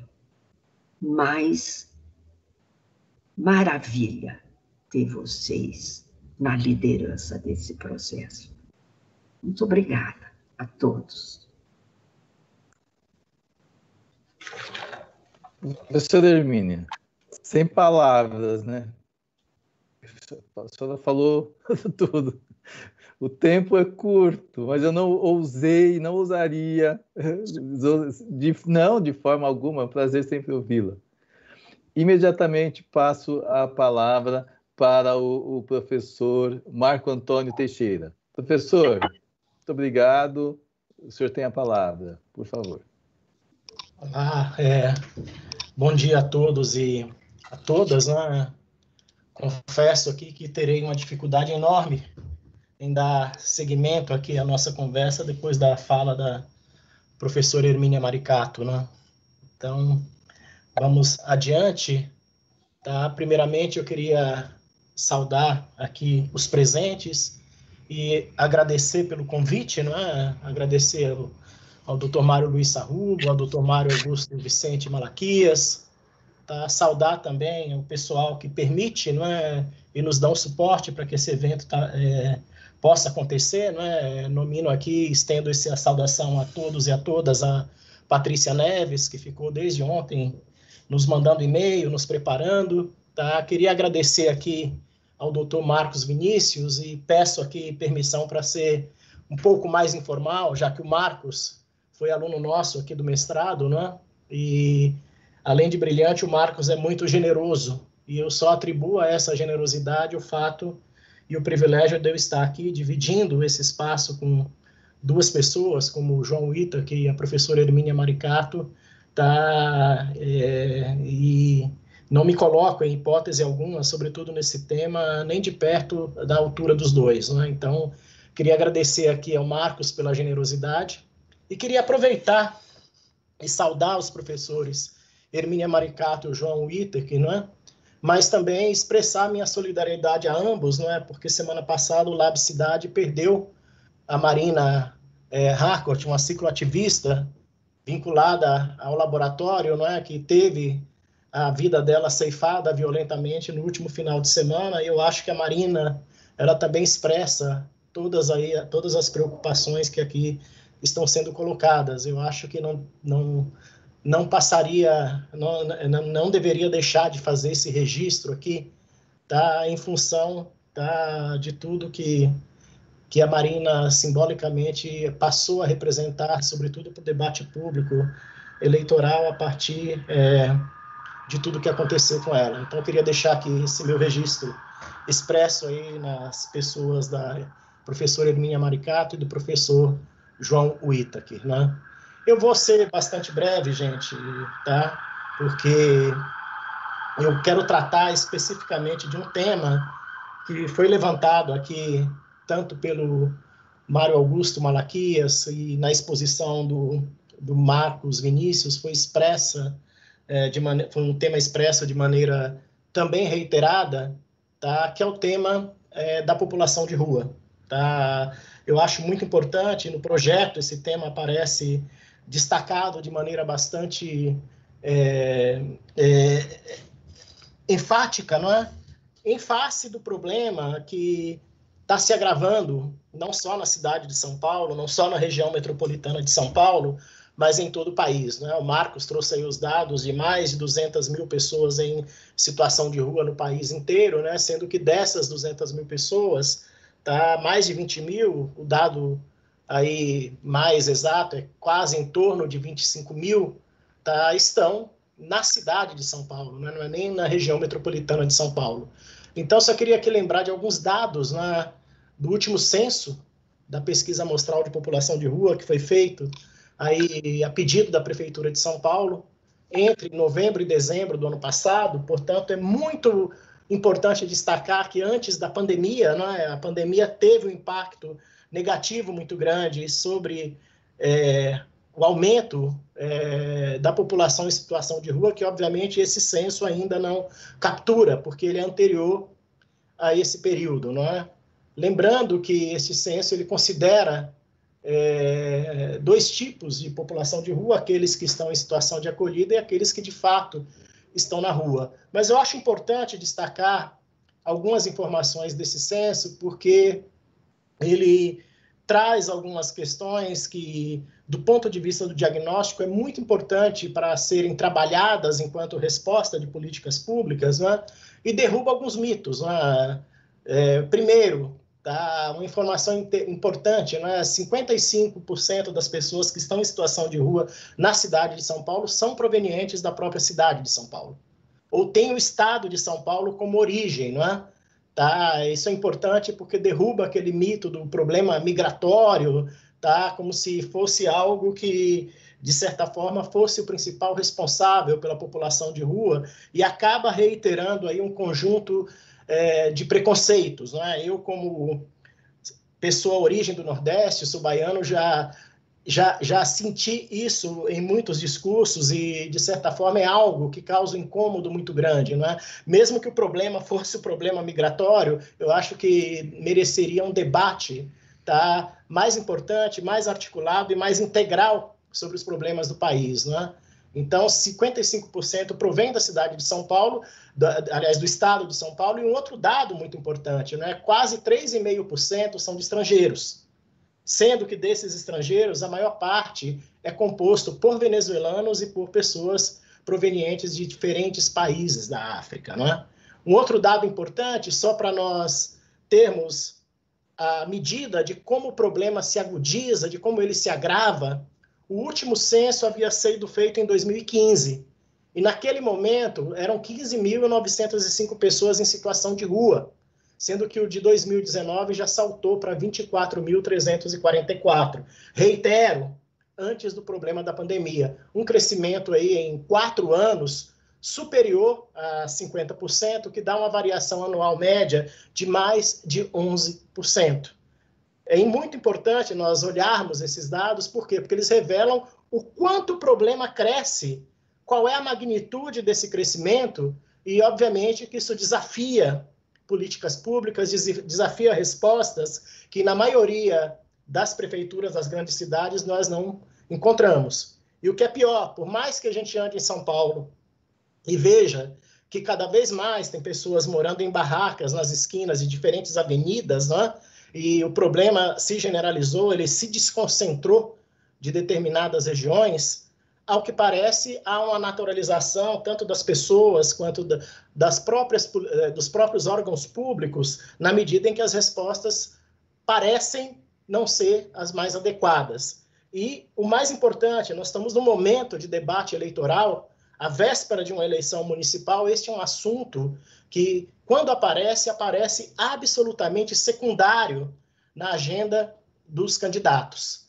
Um outro dado importante também tá, é que 63,9% das pessoas que estão em situação de rua na cidade de São Paulo moram há mais de cinco anos na cidade de São Paulo.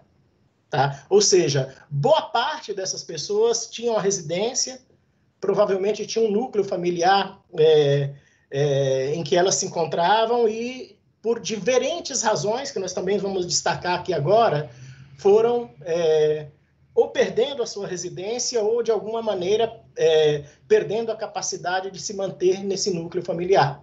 Tá? Tanto que, quando perguntado quais razões estão na rua, 40% relatam é, problemas de conflitos familiares e quase 26% relata a perda de emprego. Tá? E provavelmente a perda de emprego após a pandemia deve ter tido uma pressão maior e deve ser um indicador hoje que tem uma presença mais forte tá? do que se colocado é, com os dados que foram revelados a partir desse censo. Né? Então, eu penso o seguinte: para que, que serve? É, para que, que serve os diagnósticos? Para que, que servem os censos? Né? Obviamente que servem para nós não apenas termos um panorama da situação, mas, sobretudo, para que os agentes públicos possam pensar em resposta de políticas públicas. E aí, quando eu olho esse projeto estratégico, eu fico absolutamente é, é, eu fico absolutamente, absolutamente é, surpreso e, feliz, porque esse é um projeto que trata do tema. Né? Ele não trata do tema habitação apenas da perspectiva do déficit não é, habitacional, mas da perspectiva, como é dito aqui no próprio projeto, né, da população vulnerável e das mais diferentes vulnerabilidades que alcançam essa população, que está lá no item, não, discrimina, não discriminação e priorização de grupos vulneráveis. E também chama atenção pela ausência de dados seguros, ou seja, poucos são poucas são as cidades, poucos são as prefeituras que têm um diagnóstico da sua população de rua. Eles são quase que não cidadãos. Então, esse é um projeto, voltando aqui à questão motivadora desse encontro, que foi colocado pelo Marcos, que ele incentiva o conceito de intersetorialidade. Eu não vejo como nós tratarmos de maneira adequada a população de rua se não mobilizarmos os diferentes órgãos da gestão e não integrarmos essas ações em debate com a sociedade civil, com as diferentes organizações da sociedade, no sentido de tentar é, muito rapidamente amenizar o problema e termos políticas mais estruturadas e, sobretudo, que sobrevivam à mudança de governo. Tá? Essa é uma área que, a cada vez que muda o governo, você desconstrói políticas anteriores e volta a políticas que, muitas vezes, ela é baseada apenas no acolhimento e cujo poder público acaba tendo pouca capacidade de pouca capacidade de interferir nas políticas públicas, na medida em que elas são do ponto de vista do acolhimento, é, suas gestões são feitas é, via de regra ou por igrejas ou por braços sociais de, de igrejas majoritariamente. Então, sem essa intersetorialidade que mobilize tá, diferentes áreas do governo e que, de certa forma, veja que o motivo para as pessoas estarem na rua não é apenas perda de emprego, mas também tem a ver com conflitos familiares, com dependência de drogas, tá? com dependência de álcool, com a perda de moradia, com problema de saúde, depressão, que exige o quê? Exige que você mobilize diferentes pastas como o trabalho, diferentes pastas como a área de atendimento psicossocial, diferentes pastas como a própria área de assistência jurídica, para que você possa dar, de certa forma, não apenas o acolhimento, mas a possibilidade de você reintegrar e apresentar perspectiva de reinserção social para esse indivíduo. Ou seja, nós estamos falando não apenas de ação intersetorial, mas, apenas, mas também de abordagem integral, de atenção integral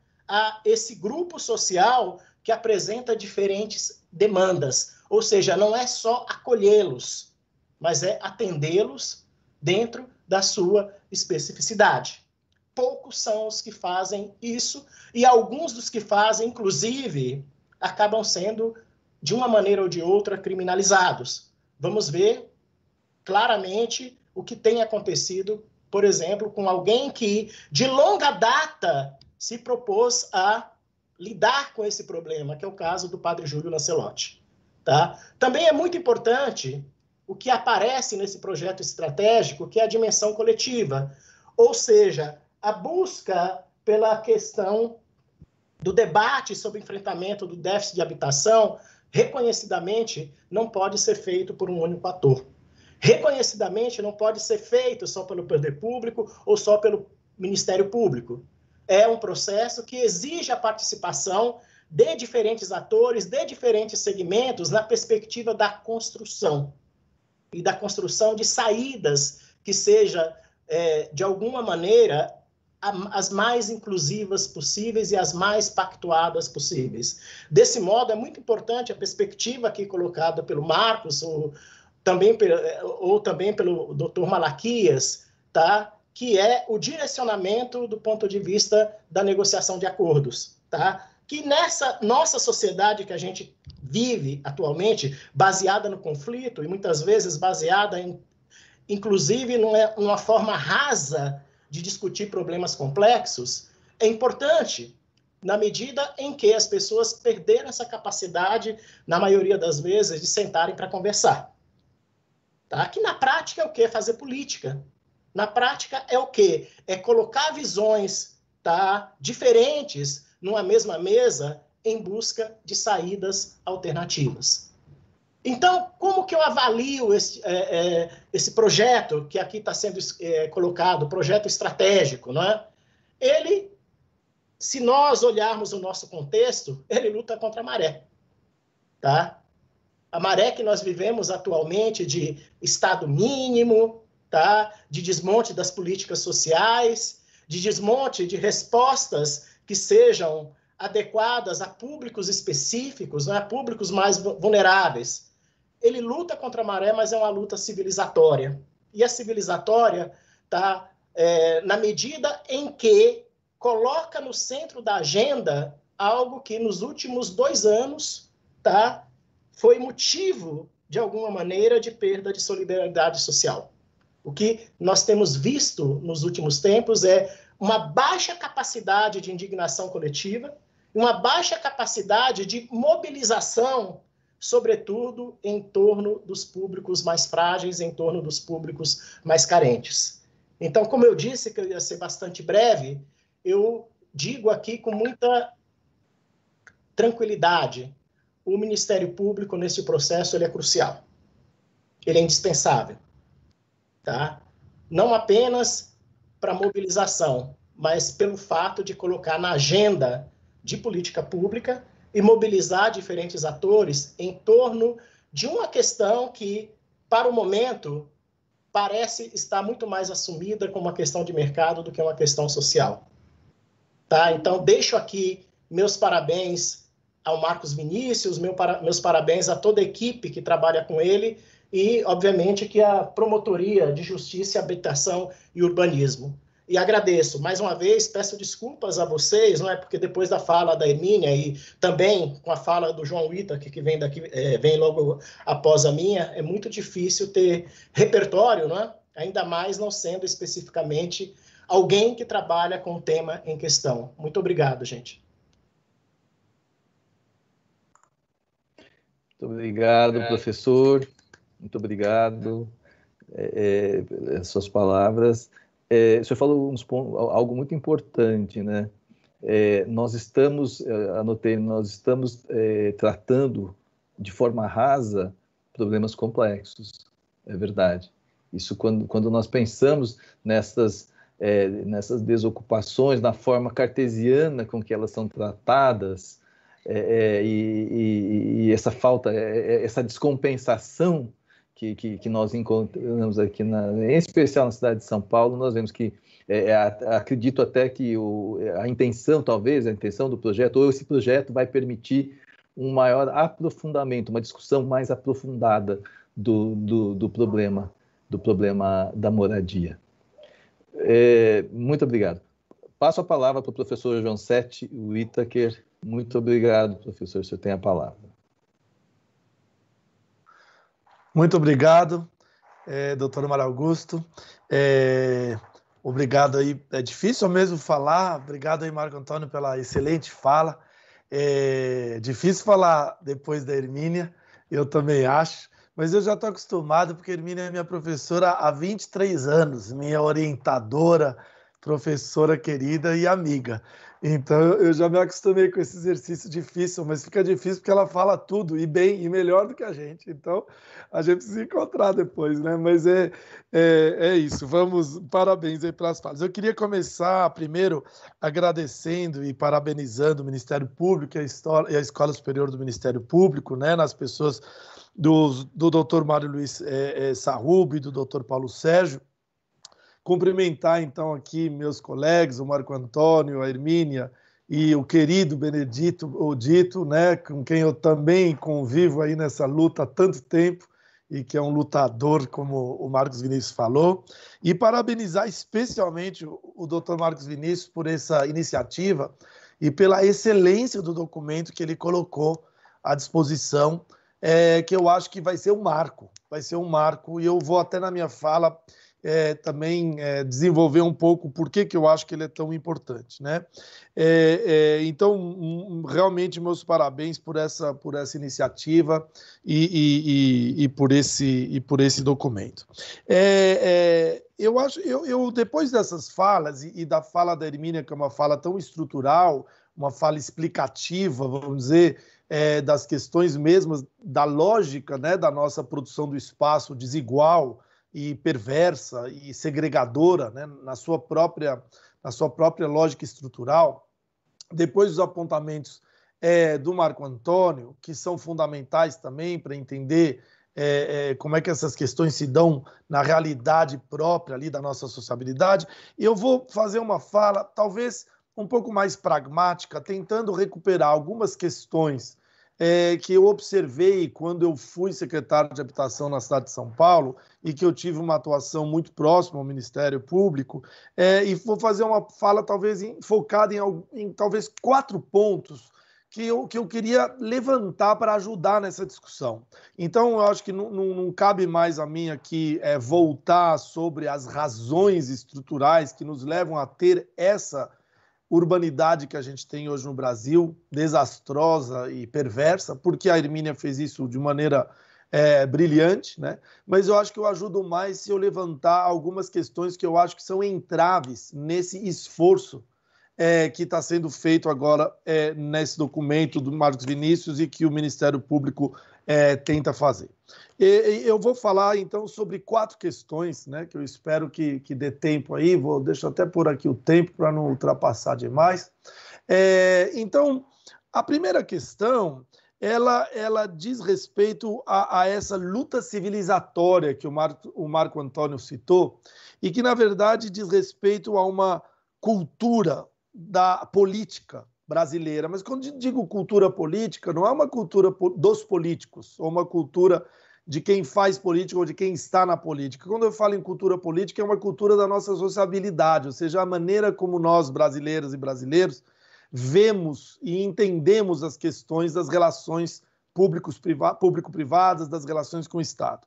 É, e aí, é, é, a respeito de, um, de uma afirmação que é a primeira feita no documento do Marcos Vinícius, que diz: a habitação é a garantia de todos os direitos fundamentais.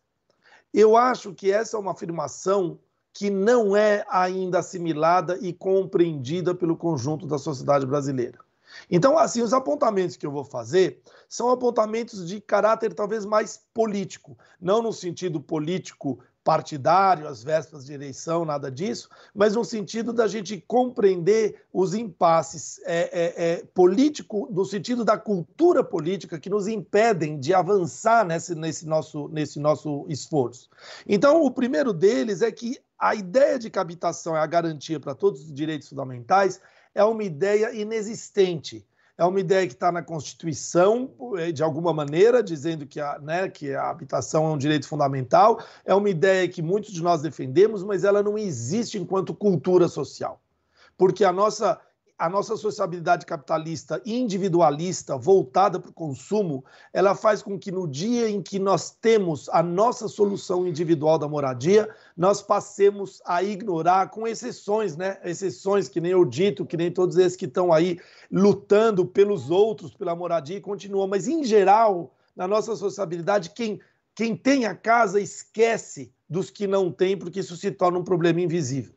Então, Compreender que essa é uma questão central é o primeiro ponto. E aí existe uma espécie de um, de um vício, de uma perversidade na compreensão da questão da moradia, que é a, a ideia de que resolver a questão da moradia é produzir casas. E todas as políticas, todos, e às vezes nós todos caímos nesse engodo. É só ver agora as candidaturas das prefeituras, não só de São Paulo, em qualquer lugar, e verificar que no quesito habitação, todos falam em números de produção de casas. Vamos produzir tantas mil, vamos fazer tantas mil, e põe ali uma fotinho de, uma, de um predinho ruim, de um predinho é, que estigmatiza o mais pobre por ser um prédio com cara de habitação popular, e não mostra onde está esse predinho, porque normalmente todo mundo já entende ou subentende que ele fica lá no fim do mundo. Então, nós temos essa compreensão de que a solução da questão da moradia é produzir casa, quando que, na verdade, a solução da questão da moradia é entender esta frase que o Marcos Vinícius colocou, é entender que a habitação é a garantia de todos os direitos fundamentais. Portanto, garantir habitação e moradia não é produzir casa, é produzir cidade, produzir condições de habitação, é dar condições de urbanidade, é fazer saneamento, é levar o transporte para a porta da casa das pessoas, é permitir que elas se movimentem pela cidade da maneira que quiserem, sem arriscar se, arriscar ser atropelada e morta, que nem aconteceu com a nossa querida aluna Marina. É a gente entender que é um conjunto de elementos que falam da urbanidade da qualidade de vida como um todo. Isso no Brasil foi meio que abandonado. A gente trata desenvolvimento urbano, a gente trata como todas aquelas obras de ponte estaiada, é, é, melhoria das marginais, fazer calçada na Vila Madalena. Isso é, é política urbana. Agora, na periferia não existe mais política urbana. Na, na periferia a gente chama de política habitacional.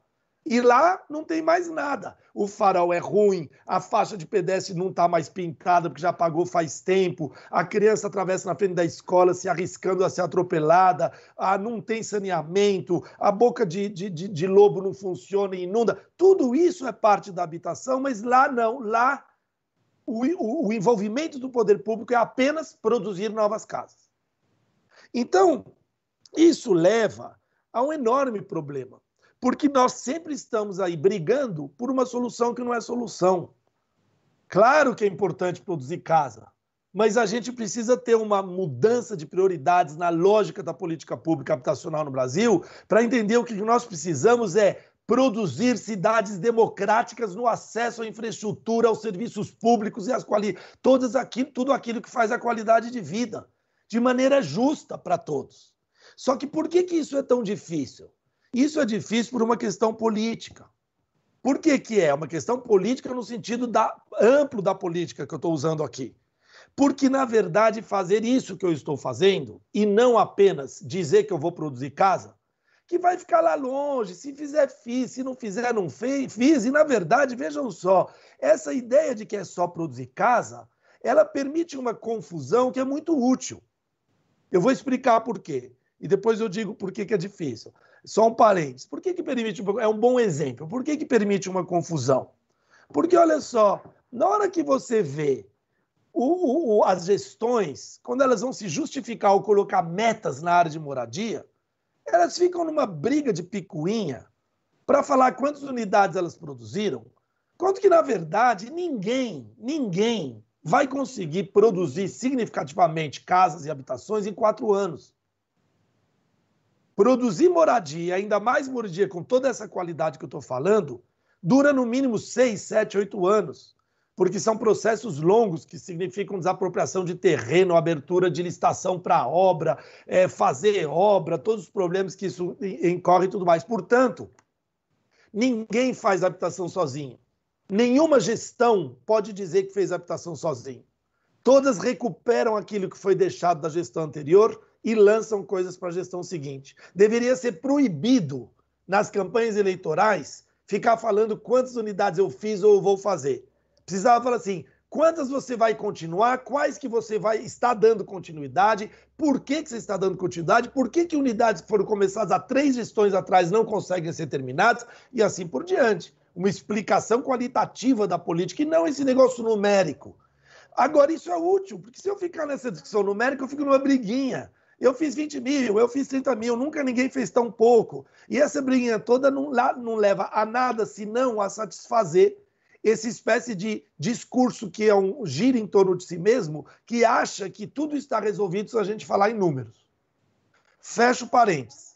Por que, que é tão difícil a gente fazer outra coisa do que isso? Porque produzir A solução para a questão habitacional, da forma que eu estou dizendo, significa bater de frente com os privilégios de uma sociedade que, desde a colonização, se estrutura por uma lógica de privilégios. Isso parece retórica, parece retórica, é, é, política, discurso de campanha, coisa assim, mas não é, porque eu não estou em, não tô em nada, então posso fazer isso tranquilamente. Não é retórica, é uma coisa muito óbvia. Porque quando eu digo que eu vou fazer corredor de ônibus, que eu vou priorizar metrô, que eu vou priorizar transporte público, bicicleta, etc. e tal, eu estou enfrentando o privilégio daqueles que têm carros que são 30% da população urbana no Brasil. Eu estou enfrentando o privilégio de, ao dizer que eu vou deixar de fazer mais uma pista na Marginal Tietê, que eu vou deixar de fazer mais uma ponte estaiada, para levar a urbanização com qualidade junto com moradia nos bairros periféricos. Eu enfrento privilégio porque eu vou ter que dizer que eu vou parar de fazer calçada pela 28ª vez nos jardins ou na Vila Madalena porque eu vou fazer saneamento, eu vou fazer coisas urgentes, ou pintar faixa de pedestre lá no Jardim Damasceno. Então, fazer essa opção que eu estou falando significa fazer uma opção de política pública, de inversão das prioridades de investimento, que não são só na produção da unidade habitacional, mas são na produção de uma cidade mais democrática enquanto às suas infraestruturas, e isso significa eu encarar de frente retirada de privilégios que vai receber imediatamente uma reação muito violenta das elites dominantes e do mercado imobiliário, que, como diz a Hermínia, se alimenta do restrito mercado dessas elites dominantes. Então se torna impossível. Eu tenho para exemplificar isso, existe uma capa da revista Época, feita na época que estavam se fazendo muitos corredores de ônibus na cidade de São Paulo, em que tem o corredor de ônibus vazio a 23 de maio lotada de carros. E a capa da revista Época São Paulo diz assim: por que a ideia deu errado? Ora, a capa mostra que a ideia deu certo. Porque no corredor de ônibus não tem nem ônibus. Os caras já chegaram em casa, já passou, não deu nem para tirar foto do ônibus. Como disse um taxista uma vez reclamando uma ciclovia na Paulista, ele falou: Isso aí não funciona, olha, não tem fluxo, não tem ninguém. E eu falei para o taxista: Não, meu senhor, tem fluxo. Tanto tem fluxo que não tem ninguém. A pessoa já está lá no Paraíso e a gente está parado aqui, feito uns idiotas. Então, a foto da revista Época mostra que o problema deu, que a questão deu certo, e que o problema é de quem está no carro, que está ali parado. Então, essa é uma ótica perversa. Existe uma outra capa da revista Veja, de 2002, que mostra o centro colorido, maravilhoso, com prédios, árvores e mansões, e uma espécie de uma massa cinzenta de favelas que cerca, o título é O Cerco da Periferia. E o subtítulo é dizendo assim: as, os bairros de classe média estão sendo pressionados, cercados por um, um cinturão de pobreza e criminalidade, colocando sempre no, no mesmo grupo os pobres e os criminosos. Isso é rompimento de uma gramática perversa. Quando a gente vai no Rio de Janeiro, eu falo para vocês, o complexo do alemão fica onde? Todo mundo vai falar, o complexo do alemão é periferia. Agora, se eu for falar da Barra da Tijuca, todo mundo vai falar que é uma nova centralidade. Só que a Barra da Tijuca fica a 25 quilômetros do centro e o Complexo Alemão fica a 8. Então existe uma gramática perversa do urbano que diz que para onde vão os pobres é periferia e para onde vão os ricos é nova centralidade. Nós precisamos romper isso. E esse é o grande dificuldade. Mas ah, para fazer isso, eu acho que eu vou falar então dos outros três pontos. Tem algumas coisas que são importantes e que eu acho que fazem parte dos desafios a serem colocados para o Ministério Público. Primeiro ponto, a questão essencial da continuidade das políticas públicas urbanas. E eu acredito que o Ministério Público tenha que ter um papel de guardião da continuidade das políticas públicas.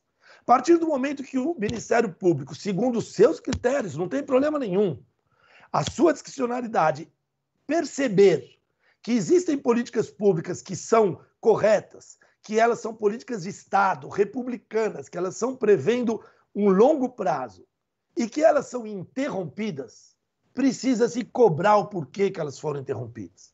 Eu não quero dar exemplos aqui, porque nós estamos em período pré-eleitoral e ficaria muito claro, mas eu posso dar um exemplo que me diz respeito a mim, porque assim, esse eu acho que eu tenho legitimidade. Eu fiz um, um, um projeto, coordenei com uma equipe sensacional, com participação dos movimentos, do Dito que está aqui, um plano municipal de habitação que visava 16 anos para a cidade de São Paulo. Se vocês pegarem esse plano, não existe em lugar nenhum o nome nem meu, nem do prefeito, nem de mais ninguém. Está escrito Prefeitura de São Paulo, Secretaria de Habitação. Esse plano, ele inclusive permitiria que outros partidos, como o, o, que veio depois da gente, outros alinhamentos políticos, pudessem usar ele como, como fio condutor da política. Ele não tem, ele, ele é absolutamente elástico para permitir os ajustes, é, é, é, os ajustes necessários. Tá certo? Ora, em mais um exemplo, que não vou falar que é só o nosso, nem querer achar que o nosso foi maravilhoso, em mais um dos milhares de eventos de, de parecidos no Brasil, ele fica na, no quinto subsolo da Câmara Municipal como um projeto de lei congelado ali, tem um congelador do lado do almoxarifado, ele deve estar lá a pilha do que a gente mandou, até hoje absolutamente ignorada. Agora, depois vem, cai prédio na área central, puxa vida, ali tinha elementos para uma política de, para a população vulnerável na área central. Depois veio o Covid, puxa vida, ali tinha elementos para fazer uma série de ações que teriam amenizado a ação do Covid, o impacto do Covid extremamente violento sobre as populações mais pobres. Então a questão da continuidade é fundamental, porque não se porque nós não podemos, isso a falta de continuidade está levando muitas pessoas dos movimentos e também da academia a dizerem que o Estado tem que ser jogado fora, que ele não serve mais para nada. Mas a verdade, até quando a gente atravessa a rua, aquela faixa, aquele farol, é produto da ação do Estado. Então nós não, precis... não podemos jogar fora o Estado, nós temos que entender que a gente precisa resgatar as políticas de Estado públicas de longo prazo feitas de maneira participativa. Então, esse é o primeiro ponto, a questão da continuidade. Segunda questão fundamental: isso o Marcos Vinícius colocou no, no, no documento dele, é, talvez com menos é, é, ênfase do que eu vou falar aqui, pela liberdade que a academia me permite, precisamos aproveitá-la. Mas é o seguinte: temos que romper este vício de achar sempre que os movimentos sociais são adversários, são fora da lei, são de pessoas mal intencionadas, são de pessoas criminosas. Isto é uma regra que perpassa todo mundo. Todo mundo. Essa ideia da adversidade. Eu queria dizer, para não ficar uma coisa acusatória, que é quase que nem o racismo estrutural, nem o machismo estrutural. Eu mesmo, às vezes, como secretário, me vi em situações que eu não percebia que estava dentro de mim essa postura. E eu acho que, às vezes, até gente dentro do movimento social encara as questões dessa forma. Existe no Brasil uma cultura de adversidade que foi criada por 500 anos e que isso de fato foi assim. Então, é, é muito complicado, porque, na verdade, é, é, nós precisamos entender que a política pública ela é feita com a parceria e a cooperação e, e a participação. E os movimentos sociais, eles têm no nome deles o nome movimentos sociais organizados. Não existe maior parceiro para se fazer política pública a médio e longo prazo do que os movimentos sociais organizados.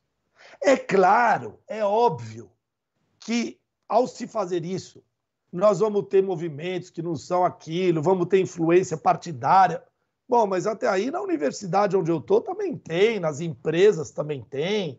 Em qualquer organização social nós temos essas, essas disputas, nós temos essas vicissitudes, mas de uma maneira geral o movimento é parceiro. Eu vou dar um exemplo para vocês, o Dito está aqui, ele vai poder comprovar.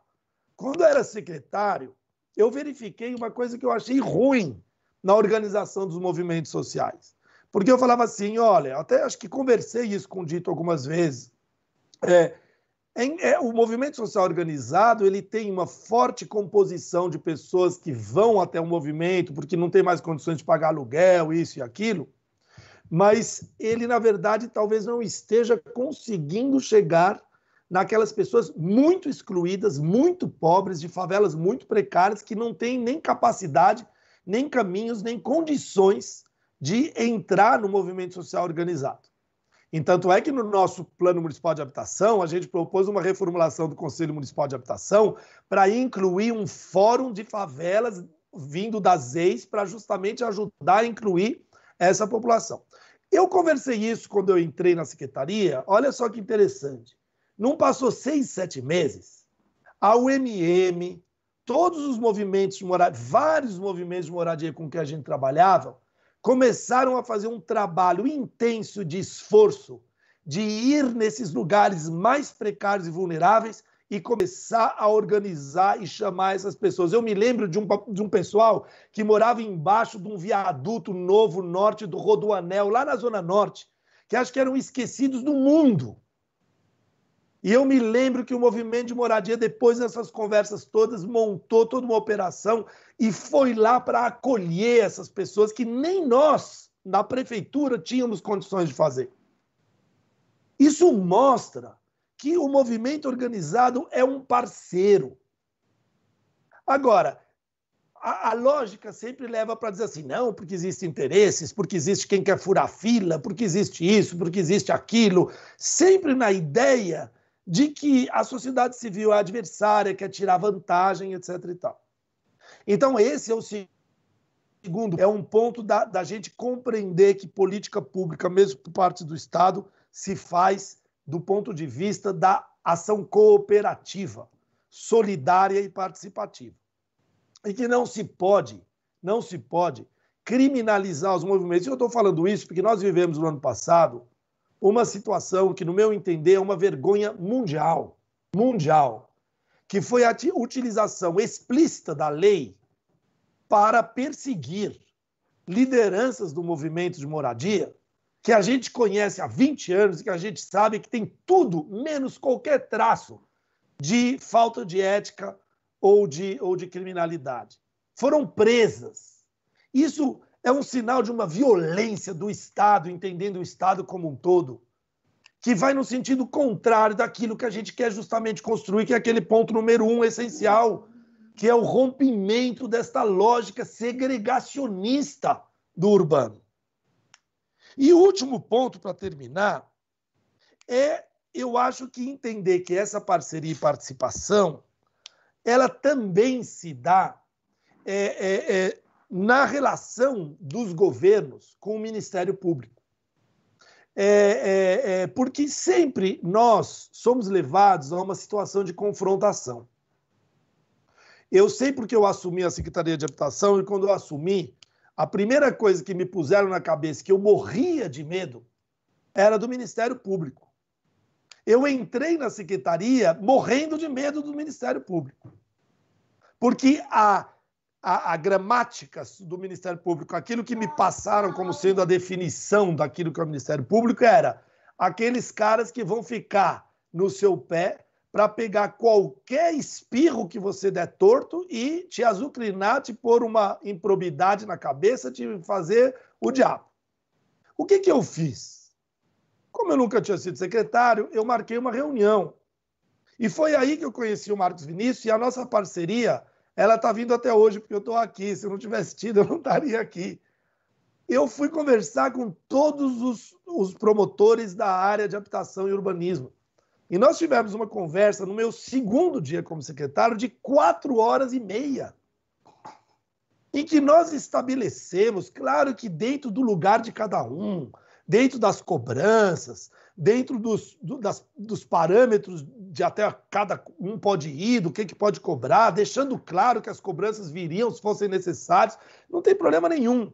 Mas a gente estabeleceu um caminho de cooperação.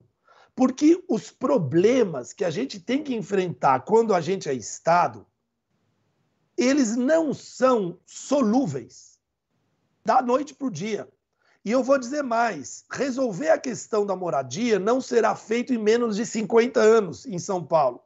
E eu vou dizer mais: quando alguém assume o Estado com boas intenções, e eu já vou voltar a esse boas intenções, ele normalmente ele é afogado e atropelado pelas demandas emergenciais que impedem que o sujeito faça política pública de Estado republicano a médio e longo prazo. E, nesse sentido, a, a, cooperação não só com o Ministério Público, mas com a própria Justiça é fundamental. Vou dar um exemplo. Eu passei um pouquinho do meu tempo, já vi que falei 23 minutos, mas eu estou quase acabando, tá? É, quando eu era secretário, eu percebi sobre a questão do risco, que hoje em dia um juiz, Antônio Galvão, fez, promoveu lá no, no, no, no grupo de estudos dele, dos juízes, é, é, é um documento importantíssimo para pautar justamente tecnicamente essa questão do risco. Porque acontecia o quê? Eu tinha áreas de risco lá na, nos mananciais, por exemplo, e que de repente chegava uma ordem judicial que dizia: retire-se essas 1.500 pessoas, essas 1.500 casas, e enquanto não retirar, pague-se multa diária de 10 mil reais. E aí o Ministério Público vinha e falava assim: não está retirando, nós vamos então botar, e vinha com outra, parecida, que o juiz ia falar a mesma coisa. Daí eu ia para aquele lugar e falava assim, gente, mas o que, que, que, que a gente faz? A gente pega, põe num ônibus, a gente tira 1.500 famílias, bota no ônibus e tira do seu local, seu local de vida, da sua, da sua sociabilidade e leva para onde? E, então é impossível. E aí o que, que acontece? Na hora que a gente vai ver lá, existia claramente uma situação que dessas 1.500 famílias estavam de fato em risco emergencial, talvez umas 50 casas. Além delas, tinham talvez umas 250 que poderiam sofrer ações qualificadas de contenção, de prevenção, de conscientização das famílias e que poderiam, portanto, ter uma, uma, uma atitude da, do poder público mais eficaz do que aquela do que aquela decisão de retirada. E as outras todas estavam lá há 40 anos e realmente não haveria nenhuma razão para elas serem numa mancha de pincelada determinadas como de risco, e aí a ação da justiça se torna ela em si segregadora e excludente, porque ela se torna uma espécie de uma ação que tira os pobres do, de onde estão, com a justificativa desvirtuada de um risco que nem é o mesmo para todo mundo. O que, que eu fiz naquela época? Eu fui imediatamente pedir uma reunião com os juízes e pedi para um assessor da SEAB, um funcionário lá, professor da FAO, é, é, excepcionalmente é, bom nessa área, que ele produzisse um documento, Ângelo Filardo, para a gente poder levar aos juízes, e que é um documento parecido com o que hoje o doutor Antônio Galvão fez, falando: olha, a questão do risco ela tem que ser tratada de maneira diferente. Isso são exemplos que eu estou dando para dizer que a gente precisa trabalhar essas questões juntos. Mas aí existe uma dificuldade enorme para o Ministério Público. Porque o Ministério Público tem que ser capaz, sozinho, de fazer o discernimento. Porque, infelizmente, no Brasil, nós temos de cada 10 sujeitos que entram para assumir cargos públicos, uma porcentagem considerável de pessoas que não estão lá para fazer política pública de verdade. E aí cabe ao Ministério Público ter esse filtro para entender que tem gente lá que quer fazer essa mudança e tem gente lá que só quer fazer politicagem da nossa politiquinha de várzea que a gente está tão acostumado. Mas isso não pode se tornar a regra. Isso tem que se tornar, a gente tem que ver isso como aquilo que precisa ser pouco pouco transformado. E uma última palavrinha para dizer sobre a questão da continuidade. A grande dificuldade de fazer política com continuidade no Brasil é que, às vezes, e nessa ideia da inimizade criada com o movimento, é que às vezes eu chegava com soluções incríveis para o movimento e falando assim, todo professor, né? Vocês têm que entender que isso é melhor, porque tal coisa, não sei o que mais, papapá, papapá. E aí alguém virava para mim e falava assim, secretário, é lindo o que você está falando, mas e quando você não estiver mais aí, o que de fato aconteceu, como é que a gente vai fazer? a gente vai se comprometer com a sua fala. Cadê a política pública a longo prazo que nos garanta que a gente possa entrar nessa, nessa questão junto? É muito difícil. Então, é isso que eu tinha para falar nesse começo, é, ressaltando que nós temos um problema fundamental para resolver, que é o de tornar essa questão da habitação, é, dar a ela a, a sua grandeza no sentido de entender que ela é complexa e que ela, como disse o Marcos Vinícius, ela é a garantia de todos os direitos fundamentais. Obrigado. Muito obrigado, professor. É, eu vou me permitir fazer um comentário sobre é, a, a, o, o que o, professor Marcos Vinícius já falou isso a, a, diferença entre as ações de Estado e as ações de governo, né? Então essa falta de continuidade decorrente de quer dizer a cada novo governo uma nova ação e se esquece do que foi tratado na, na, na anterior. E, e, quando o senhor fala, inclusive, da cidade, eu anotei aqui né, esse, esse mercado, em síntese, esse mercado formal e esse mercado informal. Eu me lembro também de uma palestra, de uma aula da professora Hermínia, aonde ela trata é, é, é, com muita propriedade que a cidade, em especial de São Paulo, quando se fala da cidade de São Paulo, não se fala da periferia, não se fala da, do que está lá nas pontas, se fala daquela região que a professora Emília até anotei, é a São Paulo da Vejinha, é aquela São Paulo ali, tudo acontece só naquela região, tudo, é, os, os investimentos também são só naquela região. Mas São Paulo é só isso, será? Essa é uma pergunta, né? São Paulo é muito mais do que isso. Falando na cidade de São Paulo, isso aí a gente leva para o Brasil inteiro, ou seja, é aquilo que o senhor comentou, por exemplo, o alemão está a 8 quilômetros do centro, mas a, a, a, vamos dizer, a Vejinha se preocupa com, com a Barra da Tijuca ou com Copacabana, então é mais ou menos isso que acontece em todo o Brasil. É, dito, me permita a intimidade, pois é tanto tempo, né? Vou passar para, por favor, você agora, nos brinde. Muito obrigado, doutor Malaquias, doutor Marcos Vinícius, né? Doutor Charrubo, né, também, né, que, né, que nos recebeu, né, e a, a escola também né, superior né, do Ministério Público que nos recebe nessa manhã né, de debate, de reflexão, depois de ouvir também a professora Hermínia Maricato, né, o doutor professor Marcos Teixeira, né, e o, e o João Itaker, né, o professor João Itaker, né, todos os companheiros já, né, históricos de luta, né, de tantas frentes que nós temos atuado ao longo dos anos, como militante do movimento popular, né, como atuante na União dos Movimentos de Moradia, lá no Centro Gaspar de Garcia de Direitos Humanos, acompanhando nessa situação né, da, da luta pela moradia. E o doutor Malaquias, que a gente não via há bastante tempo, né, a gente atuou muito, né? Eu, é, como militante do movimento popular, no movimento de moradia, advogado popular, né? sempre, né? Tenho buscado, né? E temos buscado como militante do movimento popular, algumas lideranças, especialmente, né? Fazer esse diálogo quase que permanente com o Ministério Público, né? Dialogando sobre temas que são sensíveis, né? Em cada momento, em cada conjuntura, né? E como a gente coletivamente pode enfrentar certas situações que são dramáticas né, para a nossa população, que já foi aqui brilhantemente narrada pelos professores né, que me antecederam. Né, então, eu não quero nem aqui voltar muito sobre elas, porque já foram tratadas né, com muito brilhantismo. Né? Queria, então, agradecer esse convite em nome do Movimento Popular e colocar algumas questões né, que me preocupam nesse momento, que preocupam o conjunto do Movimento Popular, né, diante da, do drama que nós estamos vivendo, que já foi aqui também já é, colocado, né? seja pela população em situação de rua, seja pelo intenso processo de periferização das nossas cidades, né? o aumento da pobreza, né? é absurdo, né? e também associado ao desmonte brutal das políticas públicas que nós estamos assistindo no Brasil é, nesse momento associado à ganância, né, os, dos, dos mais ricos, né, das nossas elites, né.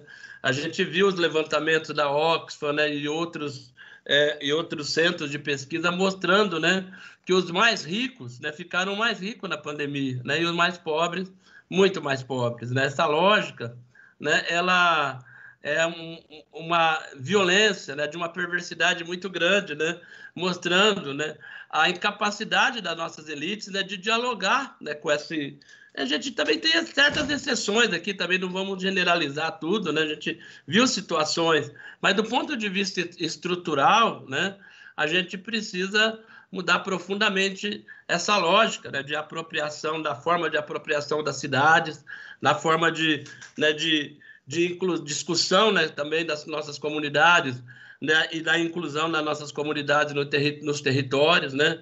A Hermínia trouxe para nós aqui, a professora Hermínia trouxe para nós aqui né, as formas, né, nós temos que aprofundar né, as formas, inclusive, de controle dos territórios, né, seja né, pelos, né, pelo próprio crime organizado, como disse aqui, trouxe a Hermínia, e esse tema nós precisamos debater, né? Ah, o Rio de Janeiro, inclusive, né, os movimentos sociais no Rio de Janeiro estão um pouco à frente. Né? Nós temos aqui professores, já pesquisadores, aprofundando também em São Paulo esse debate, mas também o controle da polícia né, sobre os nossos territórios e a violência policial brutal. Né? Mesmo durante a pandemia, né, quando a gente teve um número, vamos dizer assim, um, um número menor de circulação, nós nunca tivemos tantas mortes né, né, violentas né, nas nossas periferias e tanta violência policial nesse período da, da, da pandemia. Né? Violência né, é, é, é, com efeito morte, ou seja, violência armada né, por parte da, especialmente né, por parte da polícia militar, que mata né, todos os dias nas periferias, né, né, a gente viu aqui, conviveu e a gente quer se solidarizar também em relação ao caso da Marina, né, que a gente, colega nossa, né, né é, é, aí né, da, da FAUSP, né, pesquisadora, né? mas os nossos jovens também pretos, né, pobres, periféricos, que são assassinados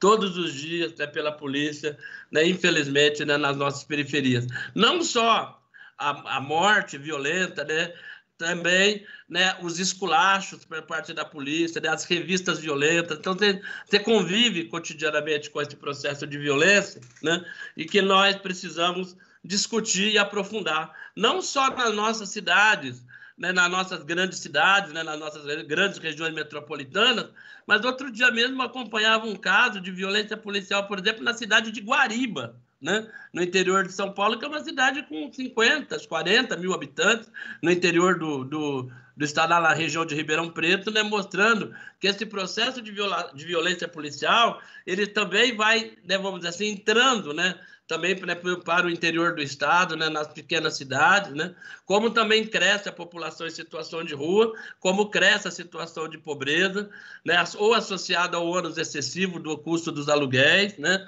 ou né, pela situação mesmo de empobrecimento da nossa periferia, ou por omissão né, do Estado, né, que não produz habitação de interesse social, porque eu, é, eu queria enfatizar um pouco esse debate, também trazer um pouco esse debate da produção habitacional, né? Porque em conjunto, né, com claro, com a produção de cidades mais inclusivas, de territórios inclusivos, é fundamental que a gente pense, né, porque o que mobiliza, né, é, é muitos movimentos populares, né, e o movimento de moradia é de fato né, o processo de luta que nós fazemos pela produção habitacional. Então nós precisamos debater. Nesse momento, por exemplo, né, que o governo do estado de São Paulo, em meia página de sulfite, né, se a gente analisar lá o PL, acho que é, 400, é 520, é, né, o projeto de lei, que agora virou lei né, no governo do estado, em meia folha de sulfite, meia folha de sulfite, extinguiu, né, não só o Instituto Florestal, que com a Marmina Maricato fez referência, mas distinguiu, a, a é, autorizou né, a extinção, né, vamos, numa, é um projeto de lei autorizativo, extingue algumas alguns, alguns institutos, né, empresas, mas autoriza a extinção de outros, né, como o caso, por exemplo, da autorização da extinção da CDHU. Né? Como é que pode, né, num momento desse de pandemia, por exemplo, né, e alegar né, dentro do projeto de lei né, que a justificativa para a extinção da CDHU né, estaria é, é, para abriria a porta para ampliação né, com o setor privado né, na produção habitacional. O que nós estamos assistindo aqui na cidade de São Paulo, né, a, partir, a partir aí dos, dos lotes né, das parcerias público-privadas, ou o que está acontecendo com a PPP habitacional aqui no centro de São Paulo, por exemplo, é um descalabro, é uma vergonha né, o que está acontecendo em relação ao que significa substituir né, uma política de Estado por uma ampliação né, com as parcerias com o setor privado na produção habitacional através das PPPs, quando né, o Estado né, oferece tudo, o, o poder privado quase que não entra com nada,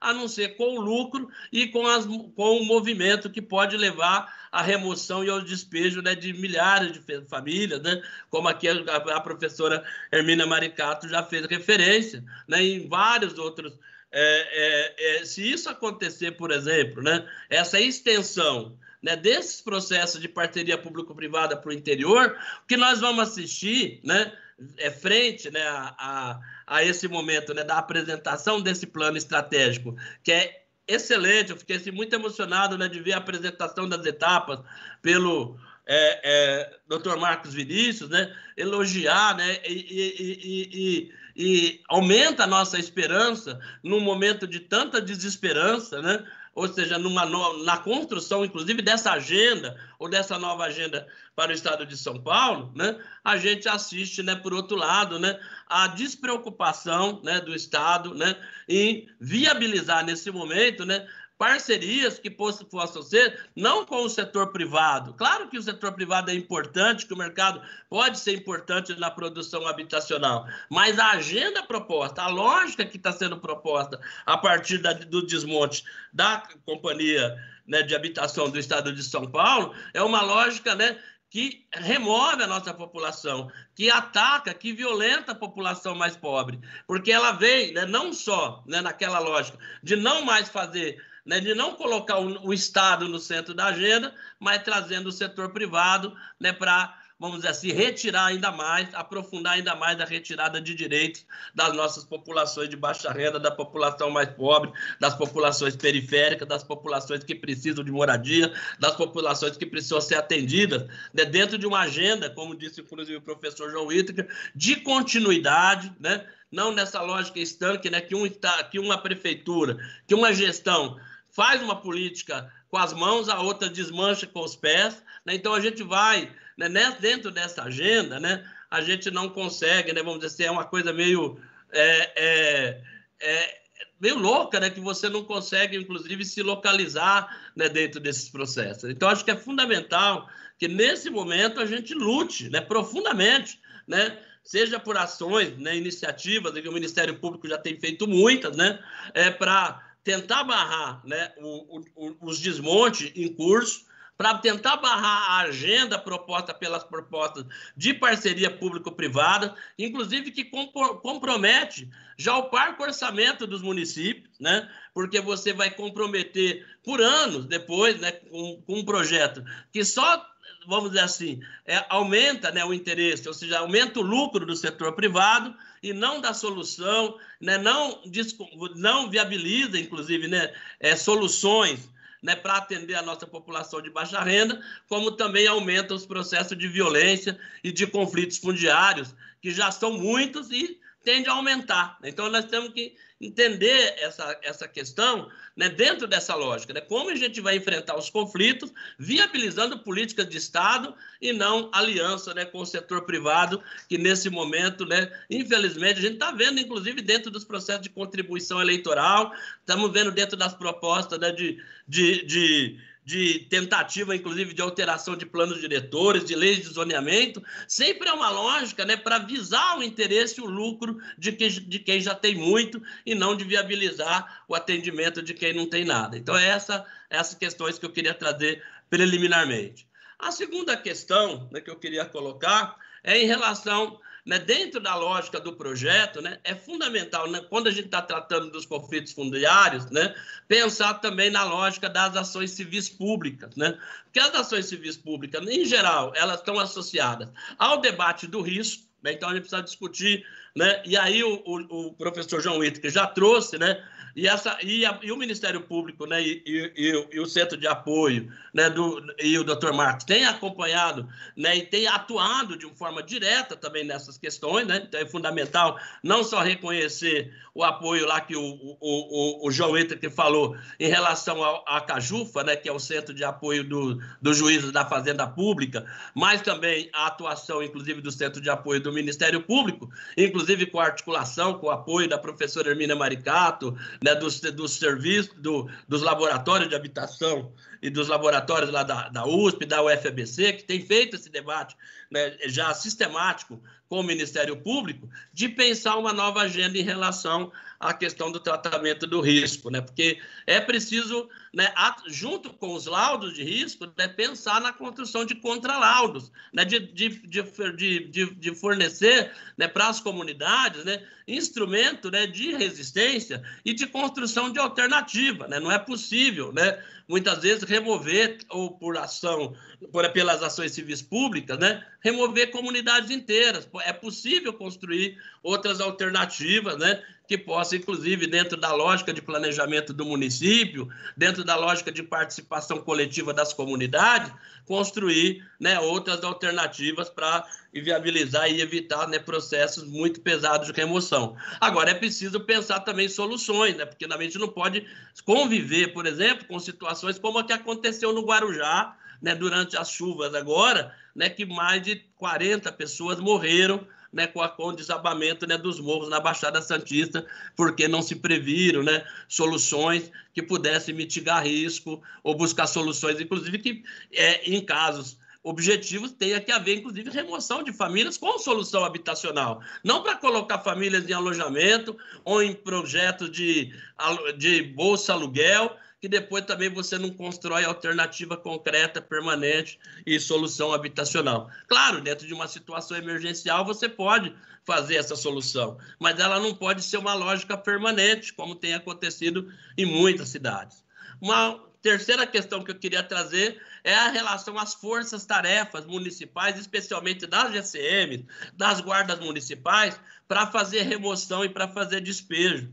Né? São verdadeiros grupos paramilitares paralelos no Estado para atacar as populações mais pobres. Né? Então, a gente tem assistido em vários municípios aqui do estado de São Paulo, no interior do estado especialmente, a constituição de forças-tarefas aliadas né, ao setor privado e às prefeituras para remover a população de baixa renda. Então, nós precisamos enfrentar esse debate, dentro desse mapeamento e desse diagnóstico georreferenciado, analisar a que serviço estão as guardas municipais, né, a Guarda Municipal Armada, né, para que a gente possa pensar soluções é, é, coletivas e participativas, não violentas, como a gente tem assistido em vários municípios aqui no interior do estado de São Paulo, como Guarujá, Sertãozinho, Ribeirão Preto, Piracicaba, São Bernardo do Campo. Então, temos vários municípios, eu posso fazer, fazer trazer uma lista né, de municípios que a gente tem assistido essas situações de violência. Ou projetos de lei de municípios que impede a construção de, de, de moradia em área central ou requalificação de imóveis em área central, como a cidade de Limeira, que fez um projeto, um decreto municipal para impedir construção ou viabilização de moradia em área central. Sertãozinho, se não estou enganado, também fez um projeto de lei da mesma natureza. Então, você tem vários municípios no estado de São Paulo que fazem projeto de lei ou decretos municipais para impedir né, é a produção e a viabilização de moradia central. Então, nós não estamos falando aqui só de viabilização daqueles instrumentos que a professora Hermínio e o professor João já fez aqui referente, mas a proposição de leis para impedir a viabilização de habitação em áreas bem localizadas. É um outro passo mais perverso dentro dessa lógica da exclusão das nossas é, é, é, é, da garantia do direito à moradia. Uma outra questão é na lógica né, da construção né, da, daquela cidade que a professora Hermina falou, né, rumo aos processos de periferização dos nossos conjuntos habitacionais, o professor não já fez referência também, a professora Hermina dentro do processo de favelização, é a agenda de construção né, dos condomínios fechados né, no interior do Estado. A gente analisar, por exemplo, né, a perversidade que é, é, a construção e a viabilização desses condomínios, né, e o que eles trazem de exclusão né, das nossas comunidades e a violência associada a esses processos de apropriação dos territórios, seja dentro daquela lógica da né, do, do, intervalo territorial, como a professora Mira falou, de valorização, né, que essa lógica é uma lógica toda construída dentro dos processos de ampliação das fronteiras urbanas do município para as áreas rurais, né, a gente, é, e, e, e, em geral, né, a lógica da especulação imobiliária e para ganhar né, mais dinheiro com a especulação, a gente né, é, a, se associa dentro dessa associa dentro dessa lógica né, a violenta exclusão né, do nosso povo mais pobre também dentro desse processo e dessa agenda. Né? E finalmente, né, eu queria porque eu acho que todas as questões é, aqui elas já foram é, abordadas, né, eu queria fazer referência a duas questões só, né? Em relação né, à nossa campanha né, nacional, né, o BR Cidades, né? É, as universidades aqui, né, o LabAB, Lab Cidade e os laboratórios das universidades, eles têm é, é, é, participado e acompanhado, né? A gente tinha uma proposta é, nacional de aprovação de um projeto de lei na, na Câmara Federal, o PL 1975, que impediria as remoções coletivas durante a pandemia, né, Eram, né? mas nós não tivemos condições políticas, né, porque, claro, com a bancada da bala, a bancada da bola, bancada ruralista, as bancadas né, é, lá no Congresso Nacional, é muito difícil nesse momento aprovar um projeto de lei que impede ou que impede, impede remoções né, durante a pandemia, mas nós tivemos assim, né, temos assistido a falta, a absoluta falta de sensibilidade dos tribunais de justiça em orientar né, os juízes, né, em relação a essa questão. Então, vai ser fundamental, né, e é fundamental que dentro desse plano, né, é, e aí o procurador-geral também tem um papel muito importante de fazer o diálogo permanente né, com o Tribunal de Justiça, com as, com, as corregedorias dos tribunais, no caso aqui do Estado de São Paulo,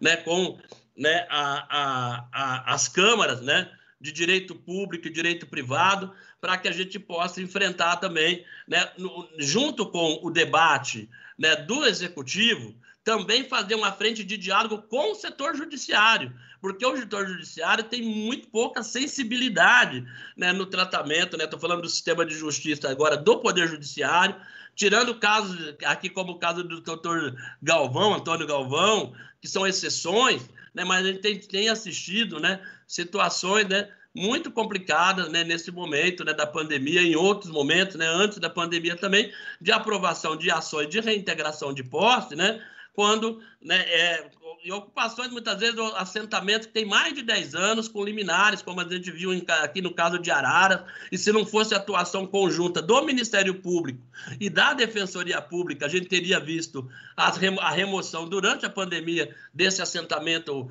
é, que é rural urbano na cidade de Araras, né? Então, essa atuação articulada entre a Defensoria Pública, o Ministério Público, advogados populares, sociedade civil organizada, ela para a gente poder, inclusive, levar esse plano e essa agenda à frente, vai ser cada vez mais importante fundamental. Ou seja, é, é como a gente viu aqui, né? Acho que foi o doutor Marco Teixeira que falou que, que é quase uma contramão a construção dessa agenda nesse momento. E para avançar nessa agenda, nós vamos precisar contar com outras universidades. Aí nós temos né, a Unicamp, a Unesp, a Federal de São Carlos, outras universidades públicas que têm que entrar dentro dessa pauta e dessa agenda e desse debate. Né? É muito importante a atuação da Universidade de São Paulo aqui e outras universidades, mas nós vamos ter que ampliar esse debate com as universidades públicas do interior do Estado e também articular com os setores né, da sociedade civil, dos movimentos sociais, desde já, porque se nós não fizermos isso, é muito difícil né, é, implementar né,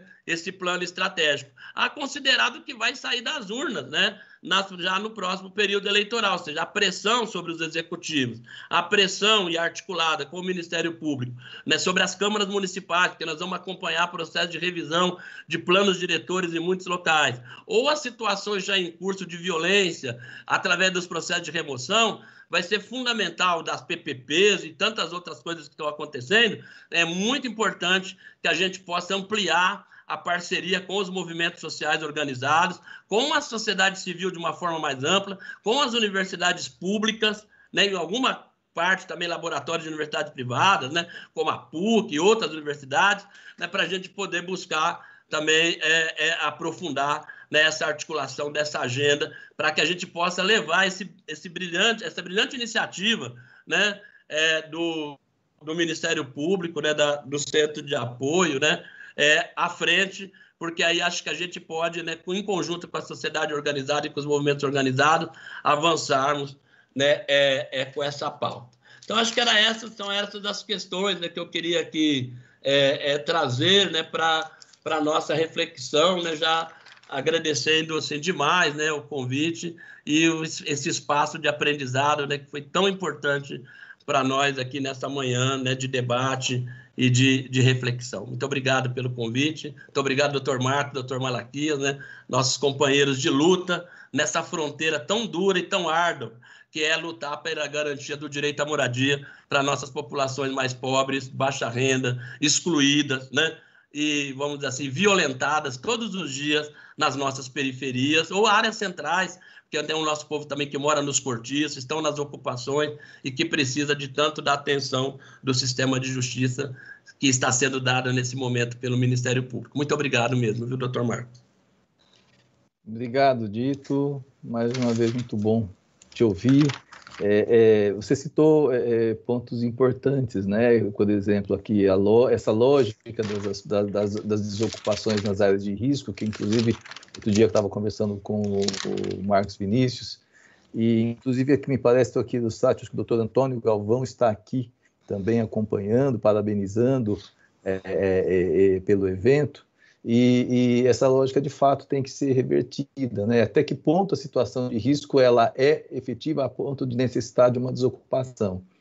E outro ponto também que você levantou importante é sobre a forma como as desocupações forçadas são realizadas, em especial quando tem o apoio de forças é, é, do poder público, diga-se polícia militar, polícia, guarda civil, é, é guarda civis, né, metropolitanas. Inclusive, é, me lembro que, a, que a, a professora Raquel Ronick já trouxe, já anotou para nós aqui, é, me parece, ela foi relatora das Nações Unidas, que há, é, é, é me parece, alguns regulamentos, se não me engano, da própria da, da, da, da Organização das Nações Unidas, que disciplina a forma como essas desocupações forçadas devem ser realizadas, sempre respeitando os direitos fundamentais é, daquela, daquela população além do, do, do, do, do problema da, da, que você lembrou aqui do nosso interior, que é impedir que nas áreas centrais. Então, olha, olha que, que lógica estranha, né? E aqui até aproveito para fazer uma pergunta, já lançar uma primeira pergunta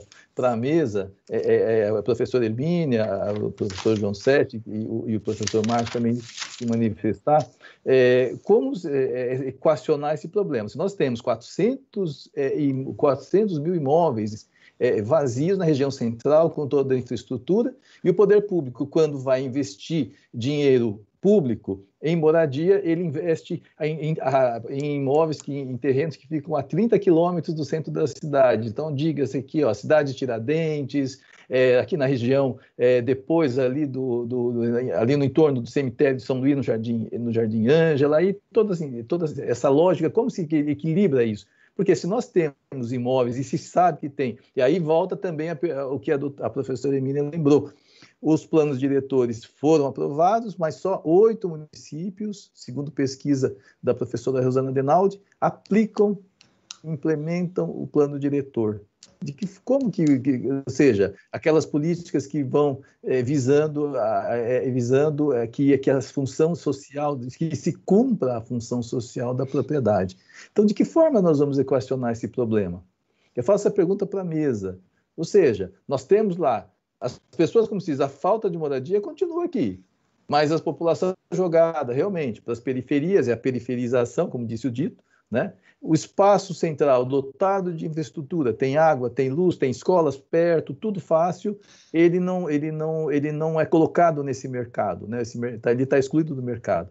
Eu faço essa primeira pergunta à mesa, pedindo que uma reflexão dos senhores dentro dessa temática que está sendo, inclusive, enfrentada no projeto do, do, do, Marcos Vinícius, que, é, que agora está é, é tá em debate também.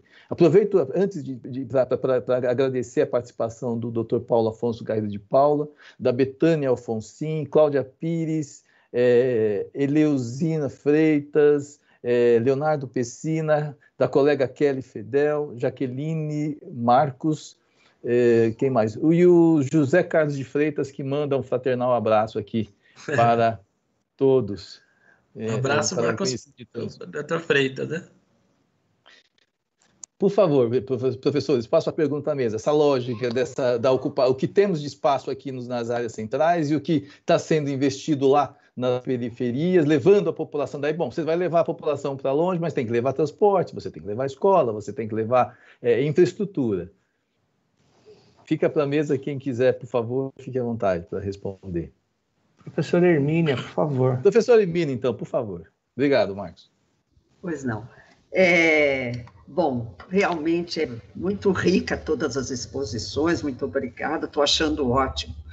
Então, é, bom, primeiro, é, não é atualizado o dado das 400 mil, eu não me lembro se é de 2010, né, do, do IBGE, do, do censo. E, e, não nem todos ficam na área central. O fato é que na área central fica muito, muitos é, imóveis vazios, centenas de milhares. Posso, isso eu posso é, afirmar, né? É, e, e, por isso que o movimento social fala em muita gente sem casa e muita casa sem gente, não é? Que é uma, uma hashtag, né? uma palavra de ordem aí que é muito usada. Bom, é, e, e, eu acho que, além dos imóveis vazios, nas cidades de porte médio e pequeno, nós precisamos lembrar terras vazias, não é? Você tem, muitas vezes, dentro do perímetro urbano, é, terras infraestruturadas vazias. E isso tudo, então, precisa ser aplicado à função social da propriedade, cuja regulamentação está prevista no Estatuto da Cidade iniciar pela PEUC, que é a, a urbanização, ocupação compulsória, você vê, não é um instrumento muito radical. Primeiro, ele dá um tempo para o proprietário usar, alugar, vender, construir, não é? É? Depois, se ele não fizer nada disso, aí incide o IPTU progressivo durante também vários anos, se não usar mesmo assim, aí desapropriação com títulos da dívida pública. Então, é como eu falei, nós temos lei, tem que aplicar a lei, não é? Como lembrou Malaquias aqui, oito municípios levaram isso para frente, é, dos milhares de municípios brasileiros, não é? Então, é, é isso aí, não tem muito mais o que falar, gente. Já se discutiu muito sobre isso. Não sei se o João quer acrescentar alguma coisa, porque só uma coisinha, quando você não usa os imóveis vazios e, e, a cidade se amplia horizontalmente, acontece aquilo que a gente chama no urbanismo de cidade dispersa. A cidade dispersa, que é a cidade horizontalizada, com vazios e, e, e vazios que, que podem ser ocupados, porque vazios é, é, de preservação ambiental é, é, preciso ficar vazio mesmo, né? Mas então essa cidade dispersa ela é muito cara. A cidade dispersa ela é insustentável do ponto de vista econômico, ambiental e social. Ela acaba sendo, você vai estender a rede de infraestrutura, o Malaquias já tocou nisso, é muito caro, não é? Você tem que levar a rede escolar, a coleta do lixo, a rede é, de, de, creches, etc. Né? Então, é, nós temos uma involução do desenvolvimento, no desenvolvimento urbano, com esse aumento da especulação é, fundiária, imobiliária. Nas cidades de porte médio é mais fundiária, é, eu sempre cito o caso de Belo Horizonte, porque em Belo Horizonte, Malaquias, eu, cada cidade que eu vou, eu recebo uma aula das pessoas no local. E lá em Belo Horizonte, esses loteamentos fechados, que o Dito estava se referindo aqui, que ferem a lei do parcelamento do solo meia, é, de 1979, né? É, 6766, é, eles como eles têm dificuldade de levar os empregados domésticos no, no loteamento, a Prefeitura de Belo Horizonte colocou um transporte gratuito que leva do, do ponto de ônibus até certos loteamentos fechados. Eu falei, olha a tarifa zero aí ajudando essa ocupação do solo absurda, inclusive porque uma das coisas em Ribeirão Preto é que uma parte dos trabalhadores vem trabalhar em São Paulo de helicóptero. Não sei se vocês sabiam disso. Esse é o Brasil da desigualdade mesmo. Né? Mas vamos aplicar o Estatuto da Cidade. E ele prevê participação social é, em todas essas iniciativas de planejamento e gestão desses instrumentos. Se o João, o João que viveu isso aí, talvez ele queira uh, acrescentar alguma coisa. Obrigada. É, posso sim. Bom, essa discussão dos prédios vazios, a gente poderia ficar fazer um novo seminário só sobre isso, né? Primeiro, eu queria pedir desculpas que eu estava aqui falando, recebi um milhão de mensagens, achando que era porque eu estava falando de de parabéns e tudo, não é porque eu vi que eu estou fazendo um jabá aqui para Veja, eu queria dizer que eu não, eu não recebi nada. Tirei agora, é sinal de que eu pelo menos limpo a minha casa, a minha estante de livros. Mas é o seguinte, é, é, a primeira questão é sobre essa inversão dos valores, né? É, é, é impressionante, porque é, em que momento começa a questão jurídica da ilegalidade? O prédio vazio, ele é ilegal na sua natureza, ele não cumpre a função social da propriedade. Mas a gente só vai bater na ilegalidade na hora que o movimento ocupa, para dizer que a ocupação é um processo de ilegalidade. Mas ele era ilegal, ele tinha uma ilegalidade anterior a isso. Né? Então é uma boa discussão, porque eu, por exemplo, acho que existe uma questão sobre a não utilização de, de, do, do, prédio vazio, portanto, não cumprimento da função social da propriedade, de certa forma, e nós tivemos essa discussão com o Marcos Vinícius muitas vezes, muito interessante, que é na hora que o movimento ocupa, ele faz, ele está ele tá resolvendo um problema para o proprietário, porque ele está dando uso da função social daquele prédio. E aí, a gente vai, vai poder cobrar, portanto, que o prédio está vazio, ele não está mais. Então, eu acho que os movimentos organizados, eles ajudam, até mesmo porque os prédios vazios, eles são perigosos eles ficam ali vazios, é espaço que pode ocorrer crime, pode ocorrer um monte de coisa, tem é, é, elevador, fosso de elevador aberto. Então, assim, quando o movimento organizado ocupa, dá uma, dá uma melhoria, dá o um mínimo de condições de segurança, que é o que eles sempre fazem, é, é, é até uma ajuda que ele faz para a cidade. Aí vem a segunda questão, que é da mediação que eu estava falando. A prefeitura, ela não, muitas vezes, ela, ela fica com as mãos atadas porque esse é o embate que se dá entre o proprietário e os movimentos. É, e, e, juridicamente a prefeitura ela não é nem proprietária nem movimento, ela não tem o que falar, ela não tem como se interpor.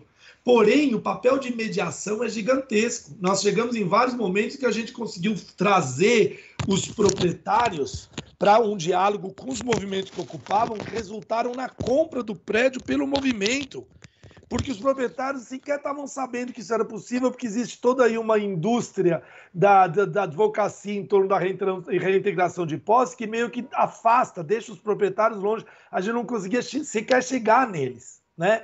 Então, e nesse sentido, a parceria com o Ministério Público, a gente discutir formas da gente conseguir entender quais prédios estão vazios, desde quando, se eles, há quanto tempo estavam vazios antes deles serem ocupados, que é um elemento importante para comprovar que eles não faz... que eles estavam numa situação de ilegalidade.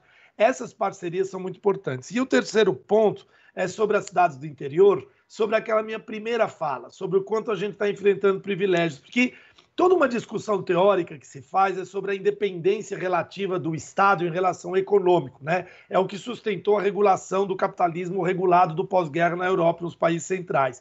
Ou seja, o quanto o Estado consegue se confrontar, às vezes, aos interesses dominantes para o bem do conjunto da sociedade ou até mesmo para o bem do capitalismo em geral, naquele caso de lá. Aqui no Brasil, nas cidades que a gente tem médias e pequenas pelo interior, muitas vezes os próprios prefeitos são das famílias proprietárias de terra de 80% das terras vazias no centro. Aí o cara vai que ele vai ter uma dupla personalidade. Ele, eu, João prefeito, vou chegar para o João dono de, é, sobrinho do maior dono de terra da cidade, e falar assim: se você não der uso, nós vamos desapropriar para fazer habitação social. Então aí a gente vê o tamanho do problema que a gente tem daquilo que eu falei no começo, que é uma questão de estruturar um Estado republicano e que consiga construir essa independência em relação aos interesses muito específicos de alguns setores que dominam o Estado e dominam a, a posse da terra e a manutenção da terra vazia. É isso, obrigado. É, posso fazer um comentário? Ah, breve, ah, por favor, por gentileza. Eu queria fazer um comentário. Eu estava comentando lá tal do projeto de lei lá da extinção, né, da, que autorizou a extinção das companhias, do Estado e tudo mais, como da CDHU, que é o, agora é a lei, né, virou lei, que é a Lei 17293. Nos anexos dessa lei, né, porque nós estamos falando aqui de imóveis privados, o governo do estado vai vender um monte, tem um, recebeu uma autorização para vender um monte de imóvel vazio do estado, terra pública, que poderia estar sendo utilizada. Tem um caso, por exemplo, de um terreno na Presidente Wilson. O Presidente Wilson é cheia de ocupação, favela, né? É, e, é super adensada, que você poderia fazer um projeto né, de urbanização combinado né, com moradia, né? é, numa, e, a prefeita, e o governo do estado vai vender um terreno de quase 10 mil metros quadrados, né? É, é, lá na Presidente Wilson. Tem um outro também na rua é, Vitorino de Carvalho, é um prédio, acho que é, no, é Pinheiros, essa região, né? É, é por ali, né?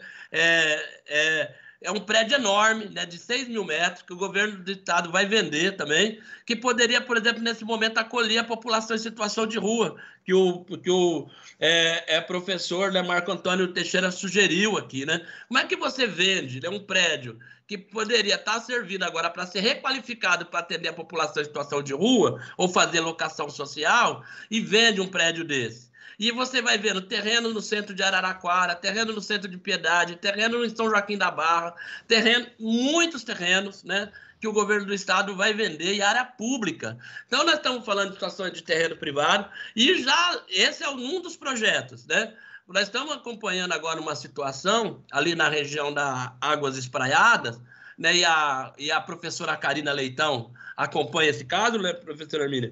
Lá do caso, por exemplo, da tentativa de venda dos terrenos na região da Roberto Marinho, né, do governo pelo governo do estado. Então nós temos várias situações que o governo do estado hoje está tentando disponibilizar ou terras vazias ou ocupadas e a gente precisa impedir isso. Então e claro, combinar e falar com os prefeitos, falar não deixa vender o terreno. Tem terreno na Rua do Sacramento, no centro de Franca né, que você poderia estar utilizando para fazer moradia para atender família de baixa renda, numa área central na cidade de Franca, e aí você vai construir terreno na beira, moradia depois, né, naqueles lugares que a professora Emília falou, né, lá na beira da rodovia, fora da cidade, na área rural, porque você, enquanto você poderia aproveitar um terreno público do estado de São Paulo. Então é crime está acontecendo é vender esses terrenos, enquanto a gente poderia estar tá utilizando esses imóveis concretos. Já estou, então, conversando aqui com os promotores lá de Franca, pois podemos passar o endereço para eles, para eles já ficarem atentos e não deixar vender esses imóveis. Porque nós temos, claro, tem situações que pode ser vista, né? não estou aqui também generalizando tudo, mas existe muitos terrenos nesse mapeamento de imóveis do Estado que já poderiam estar sendo utilizados, inclusive para o próximo prefeito, para pensar alguma alternativa habitacional, ou de locação social, ou de, de lote urbanizado, ou de sei lá o quê, para poder fazer moradia social ou para atender a população de rua. Malaquias, se você me permite, só para não deixar passar a oportunidade, que o professor João Whittaker colocou uma questão super importante, na verdade ele coloca para nós, né, para o MP, mas não, é, não posso perder a chance de ouvir o professor Marco Antônio sobre isso, porque ele humildemente fala que conhece pouco de urbanismo e tal, mas ele é um grande especialista na questão do controle do Estado, né, de políticas públicas, uh, transparência administrativa, accountability, etc. Se ele poderia comentar essa questão do professor João uh, Whittaker em relação à continuidade das políticas públicas, ou melhor, em relação a essa descontinuidade das políticas públicas, que de fato é um problema.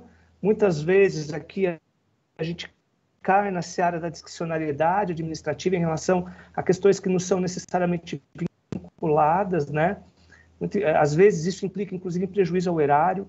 O judiciário é muito reticente em relação a políticas públicas, principalmente quando se fala em discricionariedade administrativa. E eu gostaria um pouco de ouvi-lo sobre essa, essa questão muito relevante levantada aqui pelo, pelo professor João. Opa, Marcos, primeiro que estou aprendendo muito aqui, não é? Então eu estou escutando aqui atentamente e essa questão aí colocada pelo professor João Wita, que ela era crucial, e elas se inserem nesse debate teórico, que é política de Estado, que é política de governo. Né? E, obviamente, que olhando para o município de São Paulo, que é o nosso foco aqui, o município já perdeu muito com a vaidade, sobretudo, de mudança de governo, em não apenas desmontar políticas públicas, mas muitas vezes apenas mudar de nome, para não deixar a marca com o governo anterior. Tá? Como se isso, de certa forma, tirasse o mérito da política pública na sua origem. Né? Se nós pegarmos população de rua e voltarmos, por exemplo, a, por exemplo, a década de 80, final da década de 80, quando você teve uma política de população de rua muito articulada com cooperativas, por exemplo, a Copamare lá, que era na região do Glicério, tá ligada aí a, a, às pastorais de Igreja Católica. Depois, quando acaba essa gestão, você praticamente tem um abandono desse processo como um todo, né? Depois você retoma isso mais para frente com projetos como Oficina Boracéia, que tinha uma abordagem integral da, da população de rua, é, com projetos de inclusão econômica, aí novamente na sucessão você desmonta esse processo como um todo. Isso é terrível, não é? Porque além do prejuízo financeiro que você gera, você desmonta um processo que você levou anos para construir. E que de certa forma a desconstrução ela gera um certo é, mal-estar que as pessoas envolvidas depois têm dificuldade inclusive para retomar. Então esse debate ele é crucial e ele precisa de certa forma ser apropriado neste limite. Existem situações que precisam ser entendidas né? vamos até mudar o nome como política de cidade e não como política de governo isso se insere também, penso eu, até nas políticas de habitação.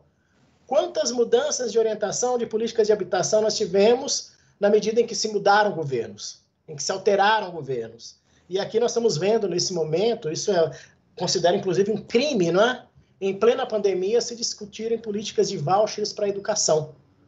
Tá? Ou seja, essa pandemia mostrou a importância do Estado, a importância de políticas governamentais, a importância da mobilização Estado-sociedade. E tem gente que, de alguma maneira, olha para essas questões e parece que, como a pandemia não os atingiu, quer imprimir para o mundo deles o mundo geral, não é? Como se a, o mundo deles, que é um mundo extremamente restrito do ponto de vista de quem tem todas as benesses e os privilégios que a sociedade possa ter, fosse a realidade dos outros.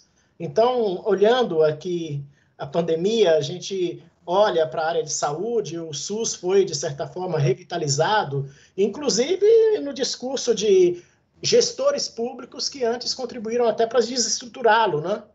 Mas, ao mesmo tempo, a impressão que se fica é que a gente corre o risco de a pandemia passar e essa cultura anterior do Estado mínimo, do mercado, tá? do, da política social como sendo algo secundário possa voltar novamente. Não é? Então, eu localizo nesse discurso da, da continuidade e descontinuidade algo que é prioritário, Marcos, e pensando não apenas no, nos prejuízos, mas nos ganhos civilizatórios que a gente possa ter com isso.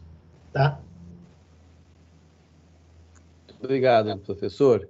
É, é, eu vou fazer uma pergunta aqui do nosso colega Roberto Pimentel eu vou sintetizar. Ele, é, o projeto que é apresentado pelo Marcos Vinícius, ele, é, antes de mais nada, ele, ele busca é, é, promover o diálogo, ou seja, entre as, é, é, promover um consenso. Isso que, inclusive, o dito até menciona muito.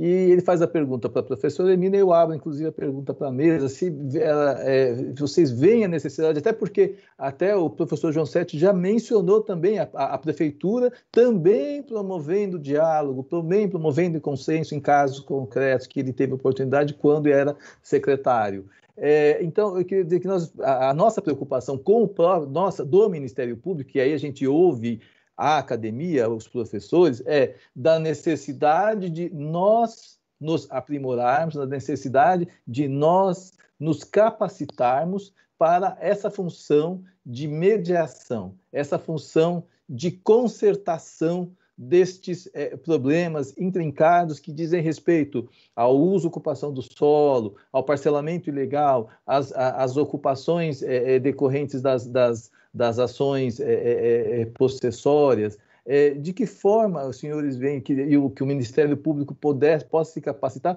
para conversar, porque nós somos, somos, diversos atores, a gente vai conversar com a sociedade, aqui está o dito representando os movimentos populares, nós vamos conversar com o poder público, então aqui nós temos, nós vamos conversar com o secretário de Estado, com o secretário municipal, nós vamos conversar com, com, com são vários fatores econômicos que, que, que fazem, que, que, que, contemplam esse, esse, esse, essa atuação que o Ministério Público agora se propõe a fazer a partir desse projeto do, do, do, Marcos Vinícius. Então, eu, eu, faço essa indagação, de que forma a gente pode, a, a, academia vê que o Ministério Público possa se capacitar para essa função. O, o, o professor João Sete, ele, ele, ele, ele, inclusive, nos dá uma responsabilidade enorme quando ele aponta que o Ministério Público pode discricionariamente é, é, indicar é é, é, é, programas políticos que, que foram abandonados é, de gestões anteriores e que devam ter continuidade. Então, para tudo isso, vai exigir do Ministério Público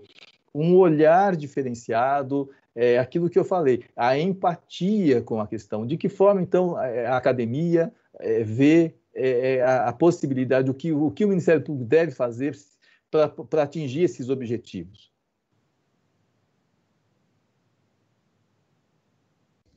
É, pois não. É, bom, eu, eu, quando converso com os meus amigos do Ministério Público, amigos e amigas, eu sempre lembro que vocês têm uma tarefa que não é que não é simples, não é? Porque o doutor Yuri estava me lembrando recentemente que se vocês recebem um laudo de risco, como é que vocês vão uh, não recomendar que as pessoas sejam retiradas do risco? Não é isso? Porque vocês podem ser responsabilizados se acontece alguma coisa. E, ao mesmo tempo, uh, o laudo de risco, ele nem sempre é muito detalhado, como o João explicou aqui. Então, eu posso questionar o laudo de risco, mas ao mesmo tempo eu preciso de uma uh, de alguns elementos que me dê uma segurança maior sobre o que fazer se eu sou se eu estou aí no papel de vocês, não é? Então, uh, como é que eu acho que nós podemos resolver isso? Quer dizer, como é que o Ministério Público pode uh, ser mais assessorado e que de forma que lhe dê mais a certeza de tomar algumas medidas, não é? Já que ele, ele tem tanto poder, né? É, nós andamos conversando sobre convênios com as universidades. É muito importante para o Ministério Público e para as universidades, viu, gente? Porque as universidades, elas é, frequentemente você pode ter um ensino que raramente é confrontado com, os, com a realidade, com conflitos, com decisões que você tem que tomar. Então, é, é, para a universidade, essas é, parcerias com o Ministério Público serão muito boas, e a universidade pode prover assistência técnica, por exemplo, não é?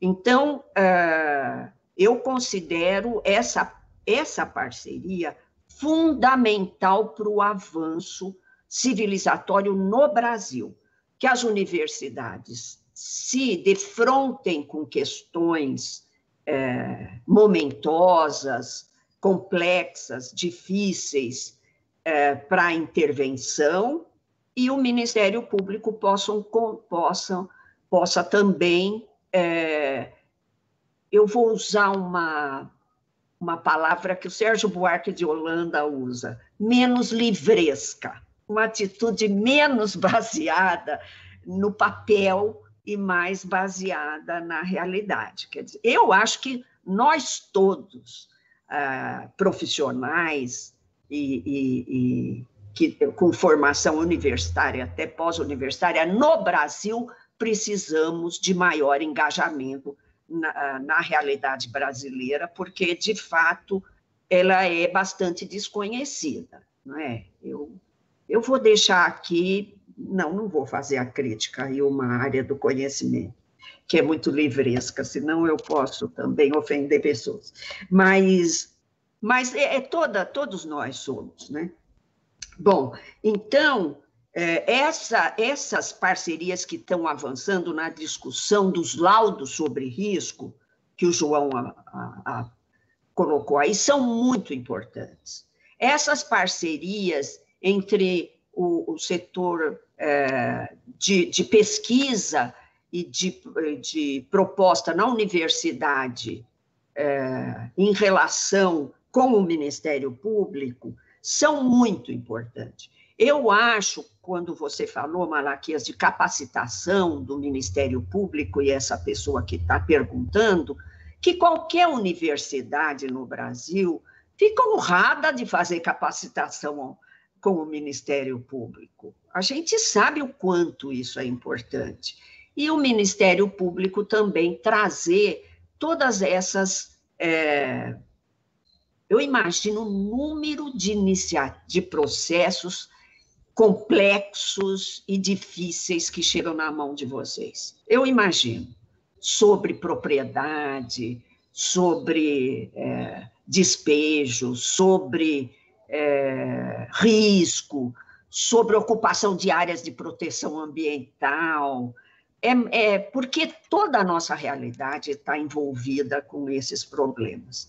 Então, vocês fiquem sabendo que é muito interessante vocês pegarem é, pessoas com conhecimento técnico, é, teórico, acadêmico, mas também com alguma vivência, uh, em, em, em, governos, em uh, as, as, uh, como é que chama? Assistência técnica, não é política de extensão universitária, que é uma coisa pela qual nós estamos nos batendo muito, que o ensino universitário seja levado a resolver problemas da realidade.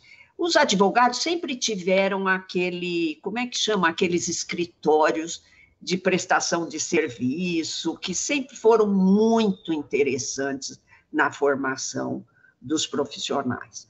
Eu acho que as universidades estão abertas para uh, e honradas de participar da capacitação do Ministério Público. Muito obrigada. Muito obrigado, professora. Olha, o número de perguntas é grande, mas infelizmente não poderemos, não há tempo para respondermos todas elas, dado o avançado da hora.